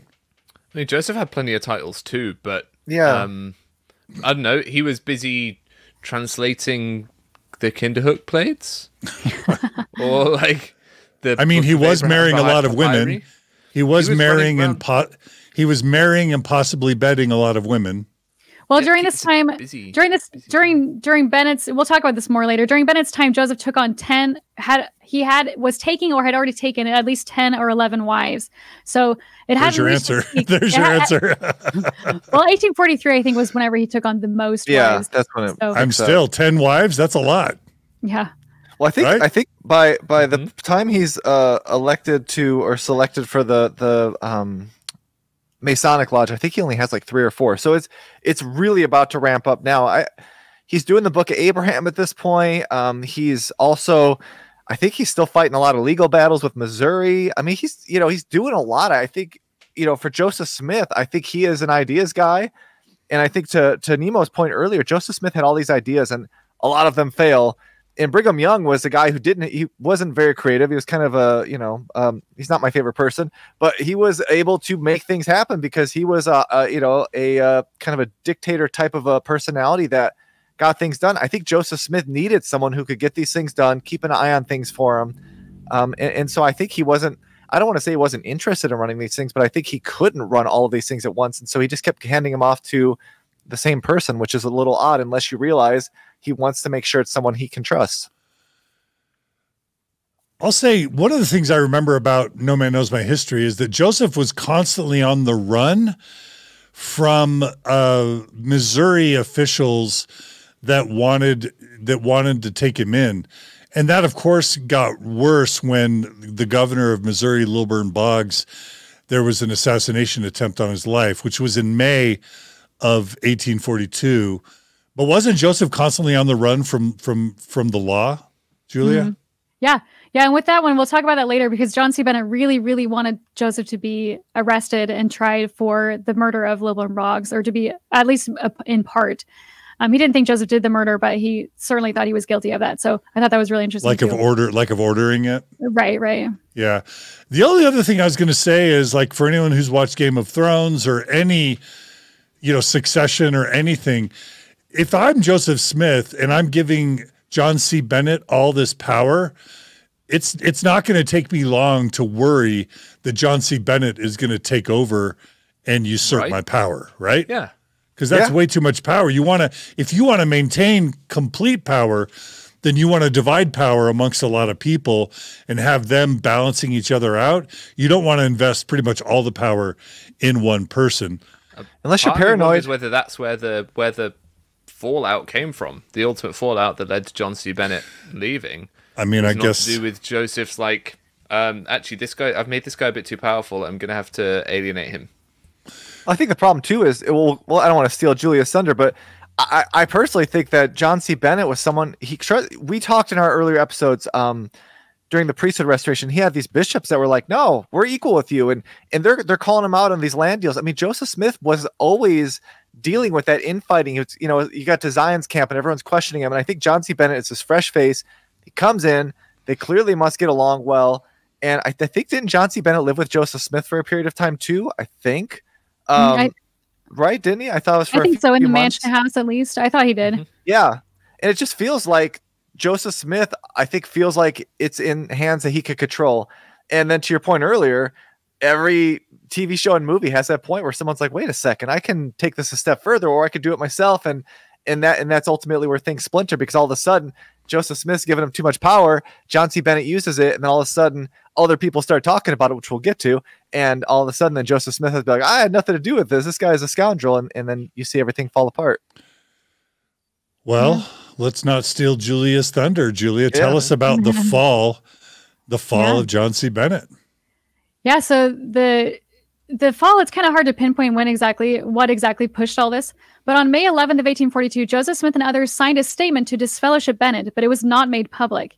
After this, some of the brethren conducted an investigation on Bennett and learned that he was actually married, and they had they had formally separated, so he wasn't. I don't think Bennett was trying to lie in that, but they they they tracked down his wife, and she said, "Oh no, we've separated," and so yeah, and that and and so they they found out that he was actually married and that he had been unfaithful to her during their time together. So so mostly they're just finding out that he is um i don't know i don't want to i guess sexually promiscuous is is an okay thing to say because of what we'll uncover later but I'm sorry. Are we? Are, the- are these? Joseph Smith is accusing a man of being unfaithful to his wife. well i don't know if joseph i don't know if it was him specifically but um Okay. but the, everyone else was getting really concerned too because um uh yeah a lot of stuff's coming out with bennett and uh, spiritual wifery so Yes, because I know the whole spiritual wifery differentiation to polygamy is like, well, it's wrong when you do it, but right when we do it is basically what that Right. is. And this We'll, seems to we'll have be a the whole start thing of on that. that. Yeah. Yeah, Yeah. this seems to be the start of that sort of, well, it's wrong for him to be unfaithful to his wife, but we have special rules. I don't know if this is a total coincidence, but I Googled when Lilburn, Bo- when the assassination attempt of Lilburn Boggs was, just because I was curious. Do, do you guys know the date? i can't remember is it may 11th it's it's May sixth, eighteen forty two. So it's five Wow. days, five days before he's disfellowshipped. Now that could be just a totally unrelated coincidence, but it's interesting if Yeah. if it's true what one of you just said, which was that that John C. Bennett wanted Joseph blamed for the assassination. Mm-hmm. yeah Yeah. I don't. Did they ever? I don't remember him being blamed too much, but I could be very wrong. Well bennett was certainly pushing for him to be blamed Yeah. he really wanted joseph tried for that So if Bennett's like, hang on, I don't think this is right. I think Joseph should take the fall for this um, that's happened. That leads Yeah. to Joseph going, oh, this man who's got all this power is now gunning for me. Uh, We're going to have to get rid of him. Right? So, so Julia, do, are we going to be talking later about what we think happened? with Lilburn Boggs, or what do you mean? No, no, no. With uh, with John C. Bennett and and this letter, this letter that you're showing here and Oh, his yeah. disfellowshipment. Wh- When when because I know this is a three part series. Are we about to talk about that? I hope so. I hope. I think it might be in these next slides. If not, then Okay. you should you should say Okay. whatever. you're- Yeah. All right, let's keep going. So so I'm I'm just dying to know. So the next slide is called brothels in Nauvoo. What the heck? Yeah, so I just just just keep in mind that that that, that notice before was not made public. So they've signed this, but no one, the membership overall doesn't know about this. I And mean, on- I, I I'm going to just guess that if he's doing polygamy slash slash spiritual wifery stuff, and he's been given all that power, and Joseph's supposed to have the power of discernment, they they want to keep this hush hush, right? Right. Yeah. Yeah. Okay. Yeah. But That's going back to the brothels, yeah. Okay. Um. So Back so to this the is- brothels. Yeah, so this is May 14th. So this is just uh, three days later. The city council passed an ordinance prohibiting brothels in the city. So I wonder why it took them this long. But an eyewitness later claimed that Bennett had built one. yeah, so an eyewitness later claimed that Bennett had built a brothel. The city council ordered it ripped down as a public nuisance. Lorenzo D. Wasson, Steve Smith's nephew, reported that he had knowledge of Bennett and his prostitutes. Whatever Bennett's connection with a brothel, if any, it is unimaginable that it could have been that it could have survived without the knowledge of the leaders of the church. Yet no action was taken against it for at least a year. And this is from Andrew Smith, his biographer. And then his biographer also adds that it could have been an integral part of the emerging system of sexual experimentation that uh, then underway in Nauvoo, as Bennett la- later implied. Man, so you're saying that the a member of the Mormon Church First Presidency instituted a brothel in Nauvoo Well, they- under we, Joseph Smith's nose. we don't know the exact ties, but that's what it seems like. That's what this witness is saying. Is that this brothel was there, and it wasn't until 1842, after it had been running for a while, that the the they passed the ordinance to get it taken down. And then the other thing I don't understand is if he's the head of the city council, it looks like the city council is defying him by ordering this brothel to be destroyed. So they're challenging his power. Am I reading that that's right? sounds. Yeah, that's what it sounds like to me. Huh. I did not know that that John Bennett likely started a brothel in Nauvoo. There's other different names that are passed around too, but yeah, his is his is one of them. Yeah. Wow, this is a big deal as far as I'm concerned. And again, it, why is Joseph Smith? Why is God telling Joseph Smith? I mean, I would assume that a member of the first presidency of the Mormon Church is called by inspiration. So why is God telling Joseph Smith to call John C. Bennett into the first presidency if he's going to make a brothel? in Nauvoo? Well, that's a good question. And then you have we have later reports. We have later reports of um, Sarah Pratt, Orson Pratt's the apostle's wife. She says that Joseph, Joseph was attending these brothels as well. So that's interesting to me. uh, Julie, we got to make a short out of this one. Write that down. okay. Julie does our shorts on Mormon stories. All right. Well, the brothel. Did y'all have Nemo, Mike? Did y'all have any brothel comments? uh, I, I, think the point about the sexual experimentation going on at the time, I think, is actually quite fair in that you could view polygamy as sexually experimentational. Like it's not the normal way of having relationships um, it's very useful and effective for Joseph to build up power, etc. But yeah, I think I think this idea of trying more casual sexual relationships than just the formal between man and wife is ultimately going to undergird polygamy in some way because it is a deviation from the norm. So, yeah. How about how about you, Mike? Are you more pro or more uh, anti brothel? What's your position on brothels?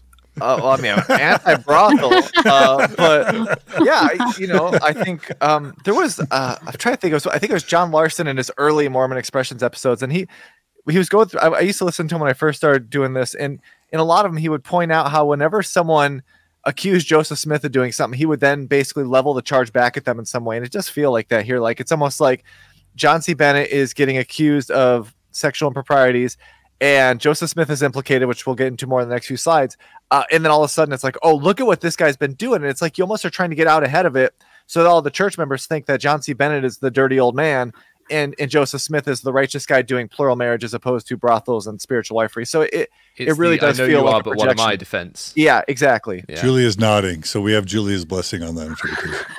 yeah, yeah. It yeah. made me think of it made me think just really fast of John C. Bennett. I think one of the things that discredits him is because he was also involved in this spiritual wifery or in getting these women. But then you have William Law, who later spoke out against Joseph, and he was not involved in that. So it, it seems like one of, if Bennett would have uh, helped his case better if he if he had not also engaged in those things. But that's, yeah, that's kind of that's the purpose. Mm. Yeah. And it also goes back to that first quote where John C. Bennett's like, "Yeah, I did this all to infiltrate him." It's like, no, you didn't, you idiot. Because if you did, this is not what you'd be doing. You know, you'd, you'd be exposing this right now instead of you know doing uh, seducing Creating women yourself, or not also yeah. engaging in it. Yeah, exactly. Yeah, yeah, it's like you know, be like, uh, I get caught having an affair, and I'm like, my wife's like, I know you had an affair. It's like, listen, baby, I was trying to expose this woman. It wasn't about me at all. it's about them. You know, it's like it's kind of come on. But did again, we're we're we're repeating ourselves. But did any of you learn growing up? That that the mayor of Nauvoo and a member of the first presidency impl- likely implemented a brothel. Did when any of us did any of you travel to Nauvoo? I, you enough. probably didn't, Evo. but when you tra- or you, Mike, when when I'm you went there. to Nauvoo to to learn about the early history of the church, did the church Mormon church missionaries ever take you by the place where the where the where the brothel was implemented by the mayor and first presidency? That would have been so fun. It's not part of the Nauvoo pageant, as far as I'm aware. Yeah, yeah, yeah. yeah. so somehow this was conveniently correlated out of Mormon Mormon history. and if it if there weren't enough, let's go to the next slide, uh, which is uh, sexual allegations. yeah. So on the 17th of May of 1842, so this is again a few days later, having been made acquainted with some of the conduct of John C. Bennett, which was given in testimony under oath before Alderman George W. Harris. So this is also George W. Harris is one of Joseph's. How do I say this? Joseph was married to his wife. I don't know how to say that. Uh-huh. Um, uh, Lucinda Harris was his second polygamous wife.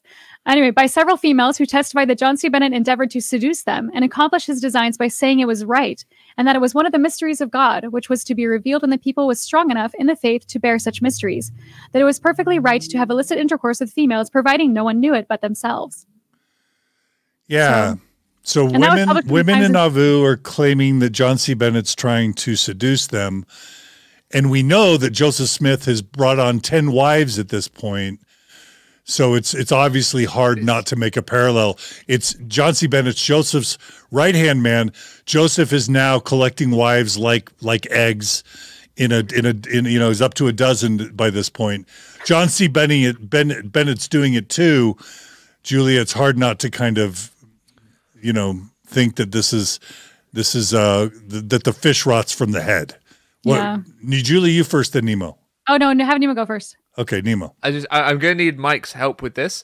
Um, but there is a a case in Doctrine and Covenants where someone basically claims the ability to have revelations also because they see Joseph Smith going around doing it and they're like, yeah, I can Hiram do that too.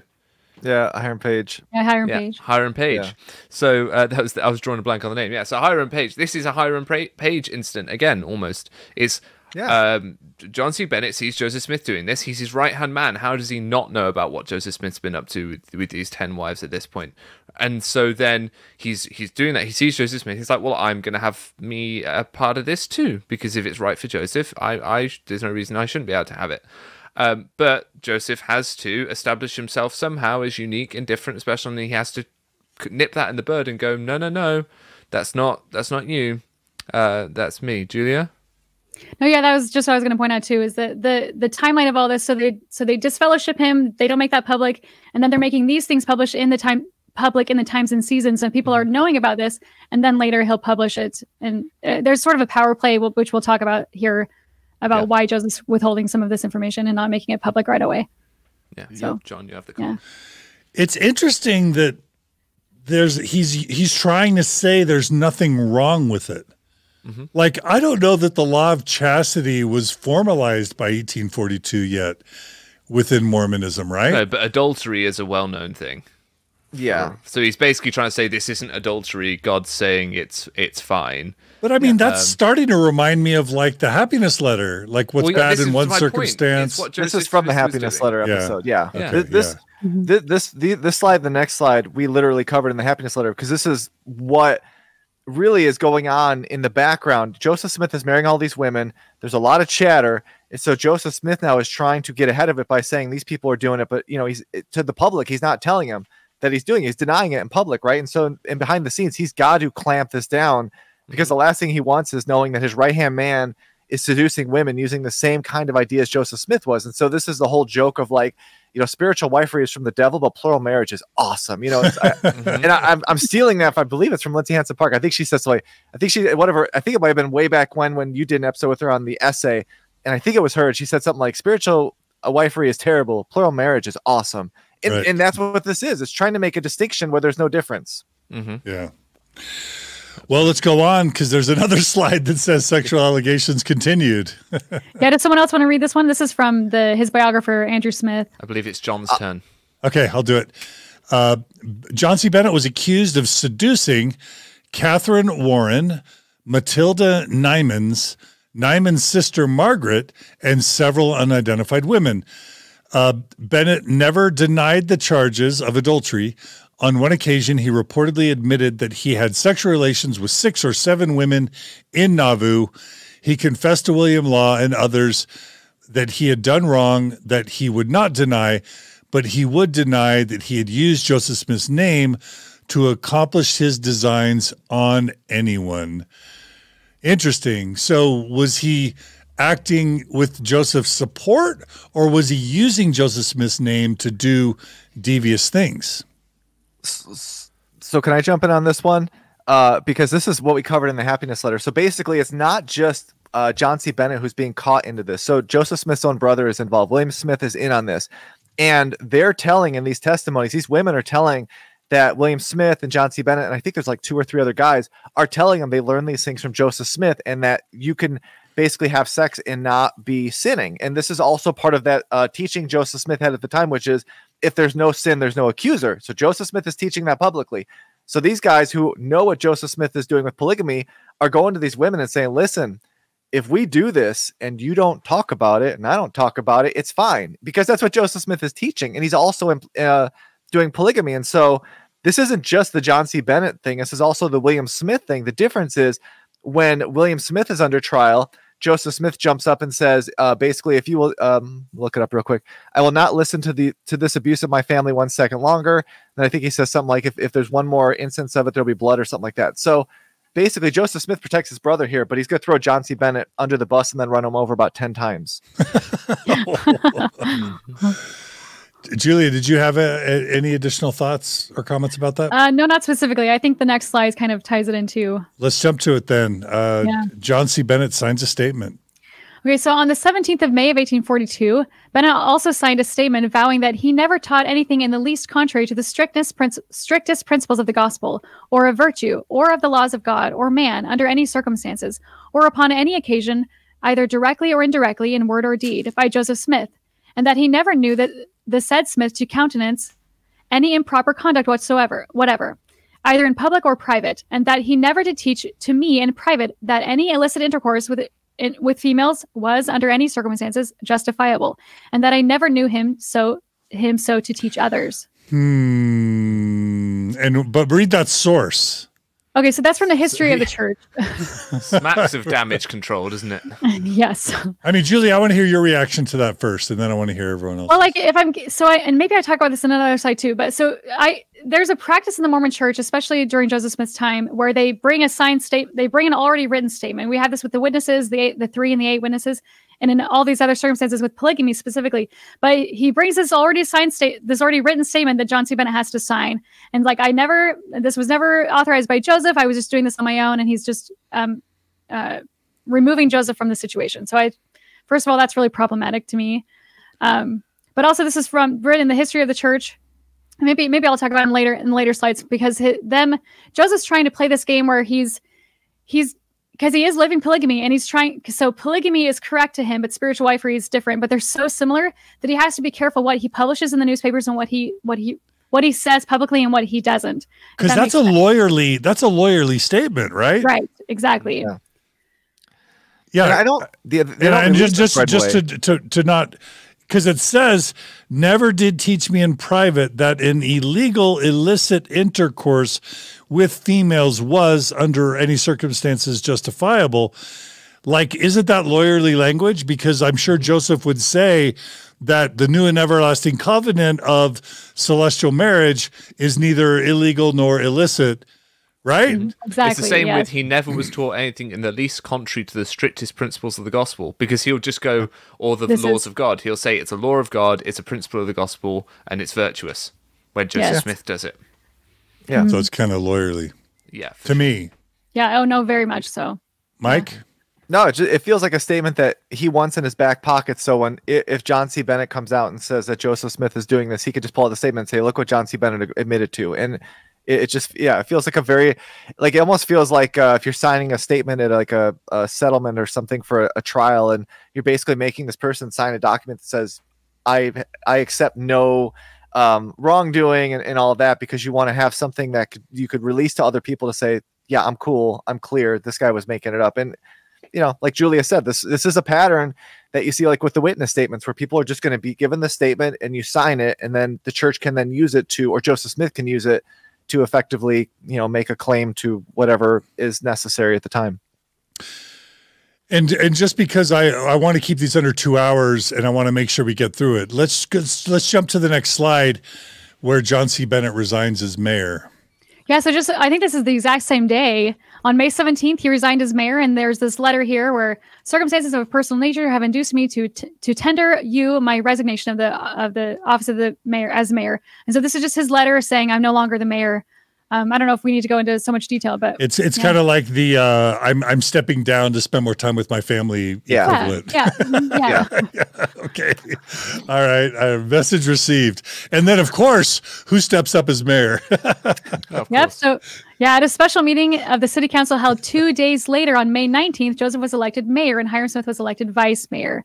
And then one thing I thought was interesting is so Joseph, he goes up to Bennett and he says, he's talking to him and he says, I asked Bennett if he had aught against me. Bennett arose and reported that he had no difficulty with the heads of the church and publicly, publicly avowed that anyone advancing the version that Joseph Smith had given him auth- auth- authority to elicit inter- to elicit intercourse with women was a liar in the face of God. And so he's like, Hey, Bennett, do you have any problems with me being the mayor? No, of course I don't. And also just reminding everyone that he did not authorize this spiritual wifery. any any reactions to that? Uh, you know that sequence of events. I mean, obviously the nepotism of Joseph Smith assigning himself as mayor and then Hyrum as Yeah. vice mayor. Two days later.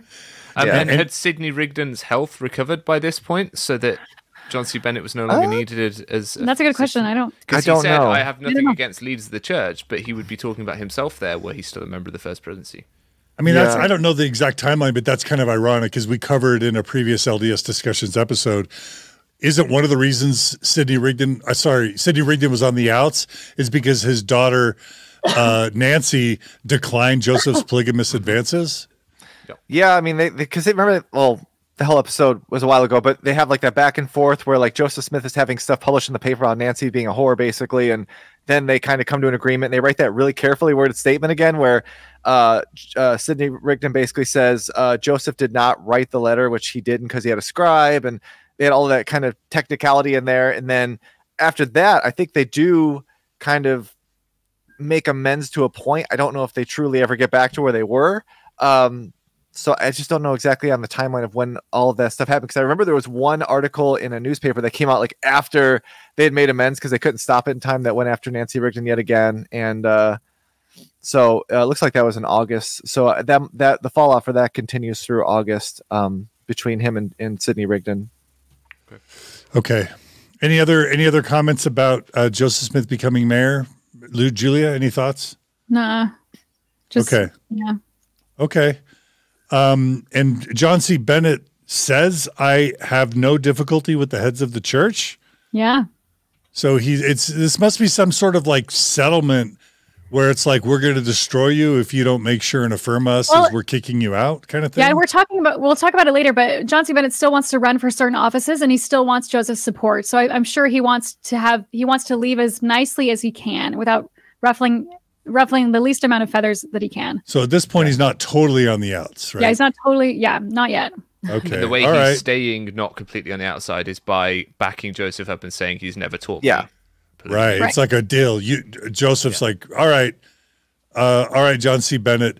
If you tell everybody I had nothing to do with your behaviors, we have to kick you out, but uh, but we'll find some way to keep you on the payroll, kind Yeah. of thing. Well, it's Yeah. like there was that there was that account with uh, polygamy early on where Joseph Smith tells somebody, and I can't remember who it was. Basically, if you get a girl pregnant, we'll basically kick you out, and we'll just bring you back in later. I think it feels like that, where it's like, okay, how do we make this go away in the interim? But also, they both realize that they they can't completely go against each other at that point because they both have a lot to lose. Yeah. Yeah. Mutual assured destruction is Yeah, what they call much. it Yep. in the uh, in the Yeah. nuclear inter ICBM nuclear missile uh, world. All right, let's jump to uh, Joseph Smith as mayor. Oh, we already did that, right? Mm, yeah. Uh, okay, so then jo- John C. Bennett gets disfellowshipped. Okay, so yeah, on, on May 25th, Joseph gave Bennett the, disfell- d- the disfellowship notice that was dated May 11th and threatened to publish it in the paper. So something's happening here where he's just really upset at Bennett and um, and he's and having this exposed would hurt Bennett in his election. Smith then asked if this is from the biographer Andrew Smith. Smith then asked if Bennett was willing to make an oath. Bennett agreed, proceeded into the office, and wrote the statement. After Bennett humbled himself and begged to be spared the publication of the disfell- disfellowship notice for his mother's sake, the notice was written from the Times and Seasons, so it wasn't was withdrawn from the Times and, Times and Seasons, so it wasn't published. Interestingly, this is something that I I don't quite understand what Andrew Smith is saying, but he says interestingly, this statement in which Bennett supposedly admitted his culpability under oath was not released, nor was any explanation given for not circulating it. And so later we do see that it is it is published in the in the history of the church, but I it sounds like Andrew Smith is saying this wasn't published during the time that it was written.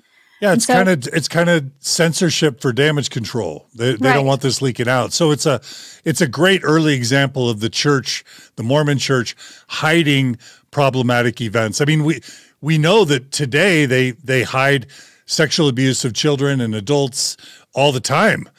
Uh, They hide all sorts of you know the the Ensign Peak um, you know, investments and the hundreds of billions of dollars now that the church has in wealth. The the hiding of inconvenient truths that they don't want the general membership to know, let alone the general public, has its roots in Nauvoo and earlier, right? Right. I also think he's again Joseph's trying to play this game really carefully, where he's trying to denounce what Bennett's doing, but then he has ten or eleven wives that he has to like. I have to say this or publish very carefully so that they still know that I'm doing the right thing and being their polygamous husband, but that Bennett's doing the wrong thing. So I feel like he's yes, he's trying to school what people know and the the the bad information, but also he's trying to. I think he's trying to play this really careful game of of polygamy. Wow, that's Yeah, crazy. absolutely.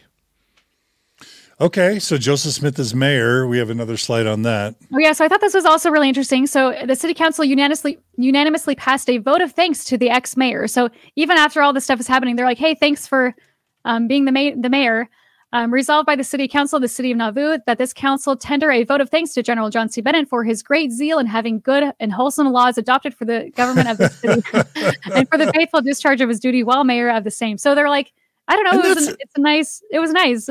But it's also bizarre. You- Can you imagine, like, a first presidency member leaving, a mayor being demoted in scandal, and then the church is saying, You did a great job. Thank you so much for all you did. And what's even more wild, they talk about his good and wholesome laws, but then a year later, they're going to go and undermine those wholesome laws by saying, but Joseph Smith gets to sell alcohol, so yeah, And since when was putting up a brothel a wholesome law? seriously. yeah. yeah. It's weird. That- It is. strange. Super weird. Okay. It Okay. makes me wonder what like level of personal influence John C. Bennett had over Joseph Smith, like how much their relationship was, you know, the, the relationship between the two of them. Yeah. Mhm. Yeah, that's a good question. And I don't know if, I mean, just as a teaser, I don't know if the homosexuality stuff that you are going to share with us, I think in next episode, Julia, if that maybe It played might a be role. part three. It might be part oh, three, but part yeah, three, yeah. okay. There's a Yeah. But and the make spiritual sure you hit wifery. subscribe because you're not going to want to miss that. Yeah, absolutely. There you go, John. You're welcome. Okay. Thanks, Nemo. Um, all right. So now we're to his public disfellowshipment. Yeah. So despite Bennett's desire not to have the disfellowship notice published, Joseph Smith had it published in July 15th of 1842 in the Times and Seasons. And so this is just the notice. I don't know if we need to read it. Um, I think we should read who it's signed by. Go, Mike. Go ahead and read it, Mike. Uh, the subscribers, members of the First Presidency of the Church of Jesus Christ of Latter day Saints, withdraw the hand of fellowship from General John C. Bennett as a Christian, he having been labored from with from time to time to persuade him to amend his conduct, apparently to no good effect. Signed by Joseph Smith, Hyrum Smith, and William Law. Interesting. Yeah, I just think it's interesting that because Joseph was like, okay, if you sign this thing, I won't make this public. And then what was it maybe two months later, June, July, Yeah. that he's like, nope, I'm going to do this. And he's, yeah, I just, something changed in Joseph or something changed in the circumstances to make him And do we that. know? Do we know what, if, if John C. Bennett just was talking too much? Was he misbehaving? You know, I don't know. That's a good question. I don't know specifically. Yeah, I was trying. I was just trying to look up some dates, and it looks like everything kind of happens in May and then in August after this. So I don't know what happens in the interim that gets Joseph Smith to basically just pull the trigger on on trying to basically nuke him. Yeah. Maybe he didn't stop his scandalous behavior. Yeah. Or people were Yeah. believing him or things like that. We, yeah, we know It- people left the church over certain issues, like with the, with Nancy Rigdon and things like that. They were leaving the church. I mean, let's just face it. He could have been a, a, a polygamy fall guy, right? He could have been, uh oh, Joseph's, because Joseph was lying about polygamy this whole time. Joseph was hiding William it. he was right? lying about it. I don't even think em- Emma knew about it. Because that's What? why William Law got mad and published the Nauvoo Expositor Right. when he finally Yeah, found out.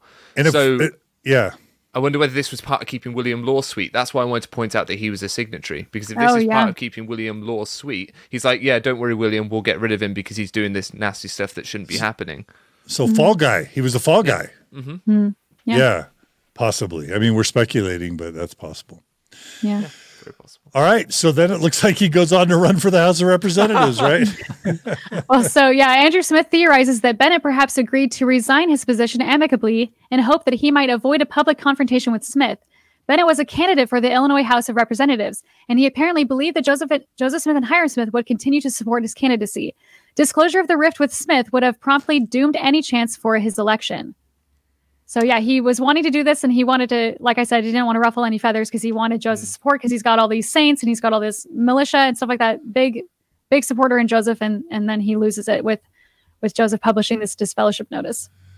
So Interesting. Because when you've got someone who is a potential, uh, who has the potential to take you down, you want to give them something to make them happy Mhm. so that they don't just sit around and wallow in their sadness and anger and then spend their time trying to take you down. So the House of Representatives could have been that, except for the next slide. right, yeah. While the yeah, so while the Nauvoo High Council investigated Bennett, he prudently withdrew his name from consideration as a candidate for the Illinois House of Representatives. He recommended that Orson Pratt or Sidney Rigdon run, but they refused. Instead, William Smith ran and was elected. So Is yeah, that, he uh, Joseph's Joseph's brother, Brother? William. Yeah. Yeah. Mhm, Yeah. William. Yeah. Yeah. Bill. Okay. Okay. So no no uh, Congress for John C. Bennett. He's he's kicked Now he has out. nothing- He's dis- yeah. Yeah. So now he has nothing to lose. Now he's like, I, Joseph. Joseph can't help me at all. He can't help me with this running for the House of Representatives. So, um, yeah. So then he threatens to to write a book and an expose on Joseph. So Which leads to uh, the final straw. Yeah. Yes, on June 18th of 1842, Smith, Smith spoke pu- out publicly against Bennett. According to Wilford Woodruff's journal, Joseph Smith spoke his mind in great plainness, plainness concerning the inquiry and wickedness, iniquity, I think that's probably iniquity, and wickedness of General John Cook Bennett, and exposed him before the public.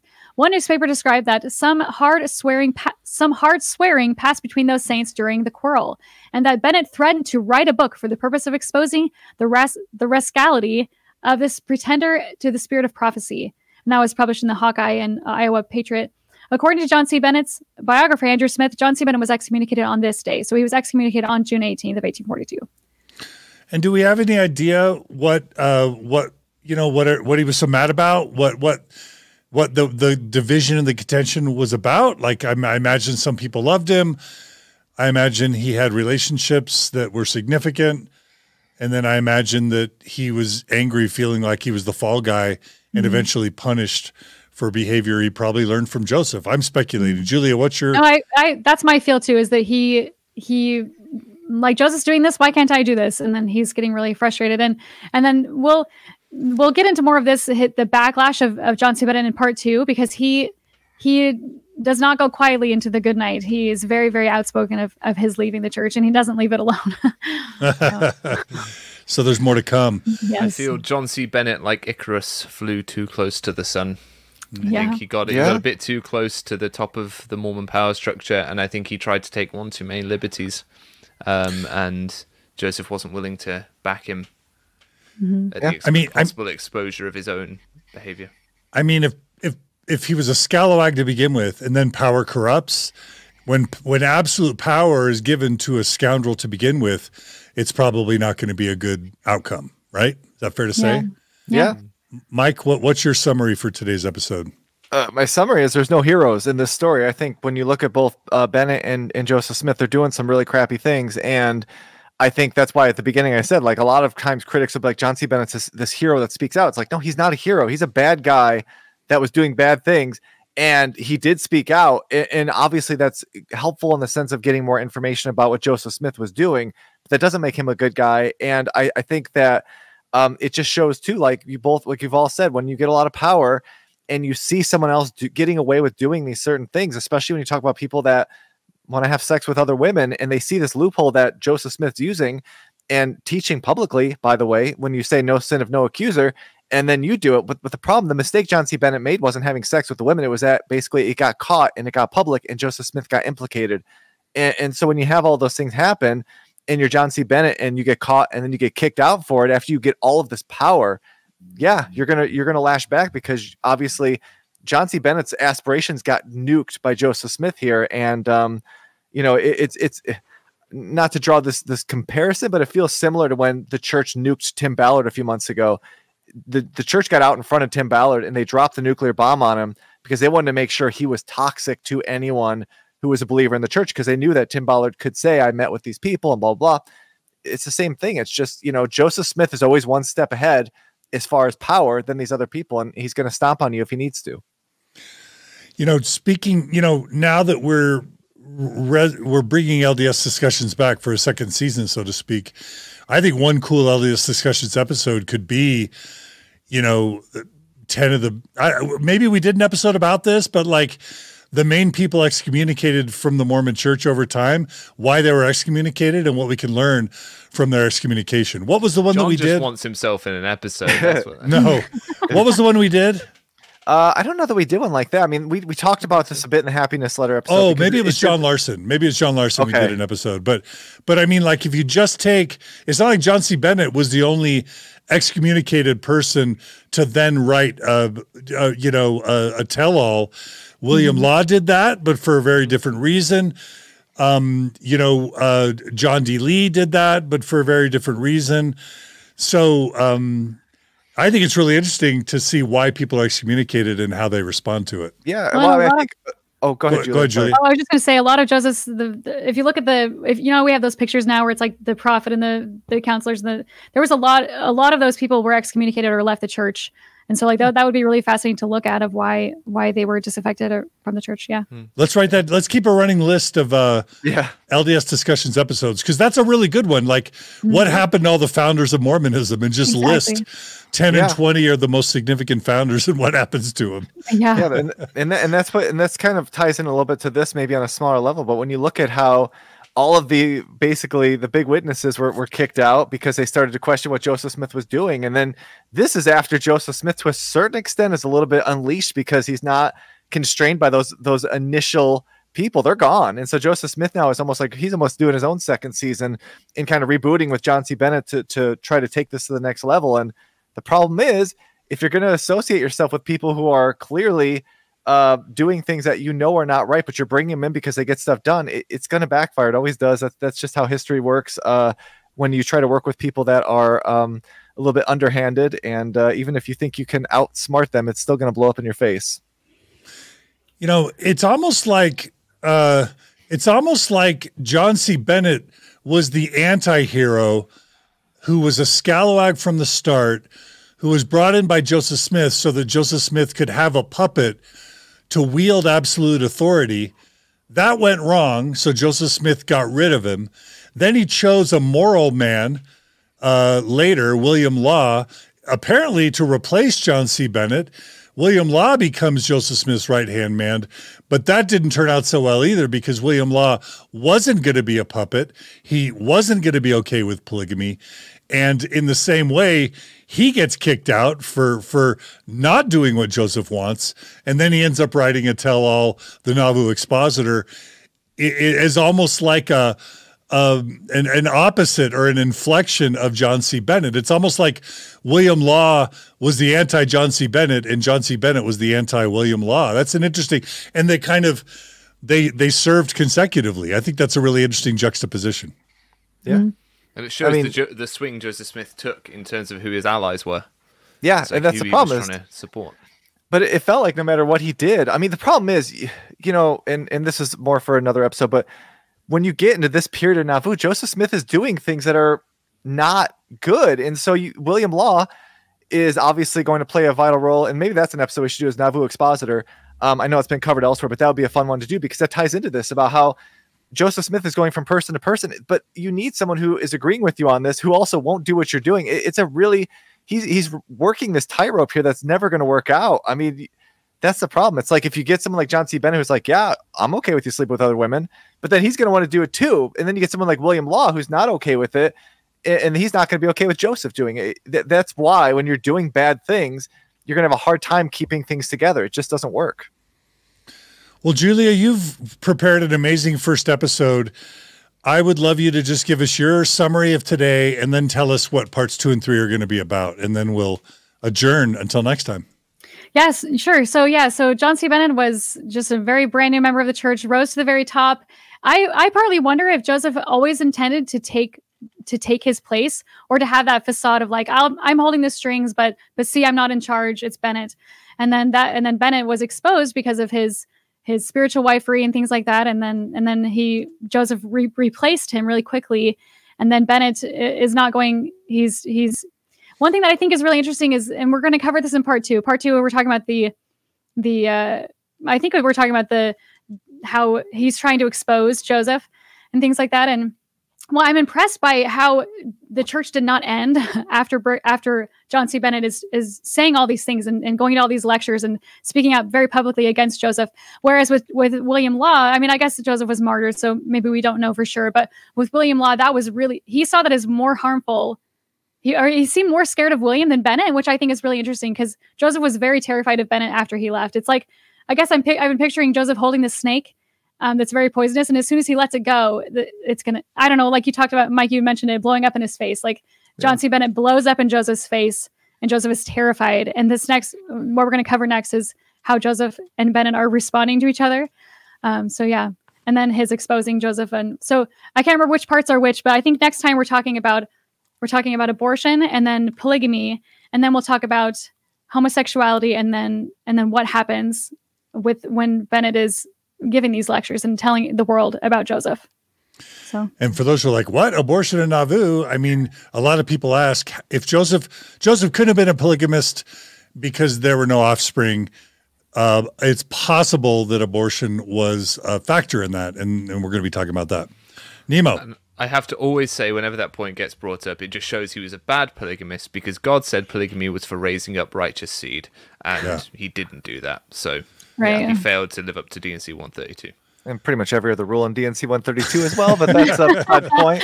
All right. Well, Mike and Nemo, can we give Julia a round of applause yeah, for her so uh, her joining us today in LDS discussions? Thank you, Julia. Welcome to the yeah. team. And, and I'll just say before this episode ends that if you guys want to go on TikTok and view her videos, I, I don't know how many you've posted now, but she's done a ton of videos that really take on a lot of apologetic responses to issues that are really good. And like I said, she doesn't just tell you, she shows you. And I think that's why her work is important because it's not just her just saying, Oh, I believe this, so you should too. It's like, no, here's why this doesn't add up. Here are here are the sources, and what they're telling you is is inaccurate. So I, I would highly recommend anyone interested uh, follow her and and watch her videos because she does really good work without being like I said, obnoxious or trying to turn off people who are, who are trying to figure this out. And I think that's a really uh, great mindset to have with these videos. So, so I really hope that if you haven't, you'll do so because she has been doing a lot of good work for a long time. Thanks, Mike. Thank you. Yeah. All right. Thanks, Julia. Thanks. And, and yeah, please subscribe to Nemo the Mormon, the YouTube channel. Help Nemo grow. He's over 20,000 subs now. Please subscribe to uh, Mormon Stories Podcast and share this episode wherever you can. Make sure you know you can follow us on Spotify, on Apple Podcasts, and also there's a playlist on uh, our YouTube channel where you can watch all these in succession. Check out, uh, you know, analyzing Mormonism, of course, on TikTok and Instagram, and don't forget to check out the LDSDiscussions.com website that Mike put together, where you can read um, all his essays that are all super useful. And and don't forget to tune in again for another episode of LDS Discussions soon. Thanks, yeah? everybody. Yeah. All right.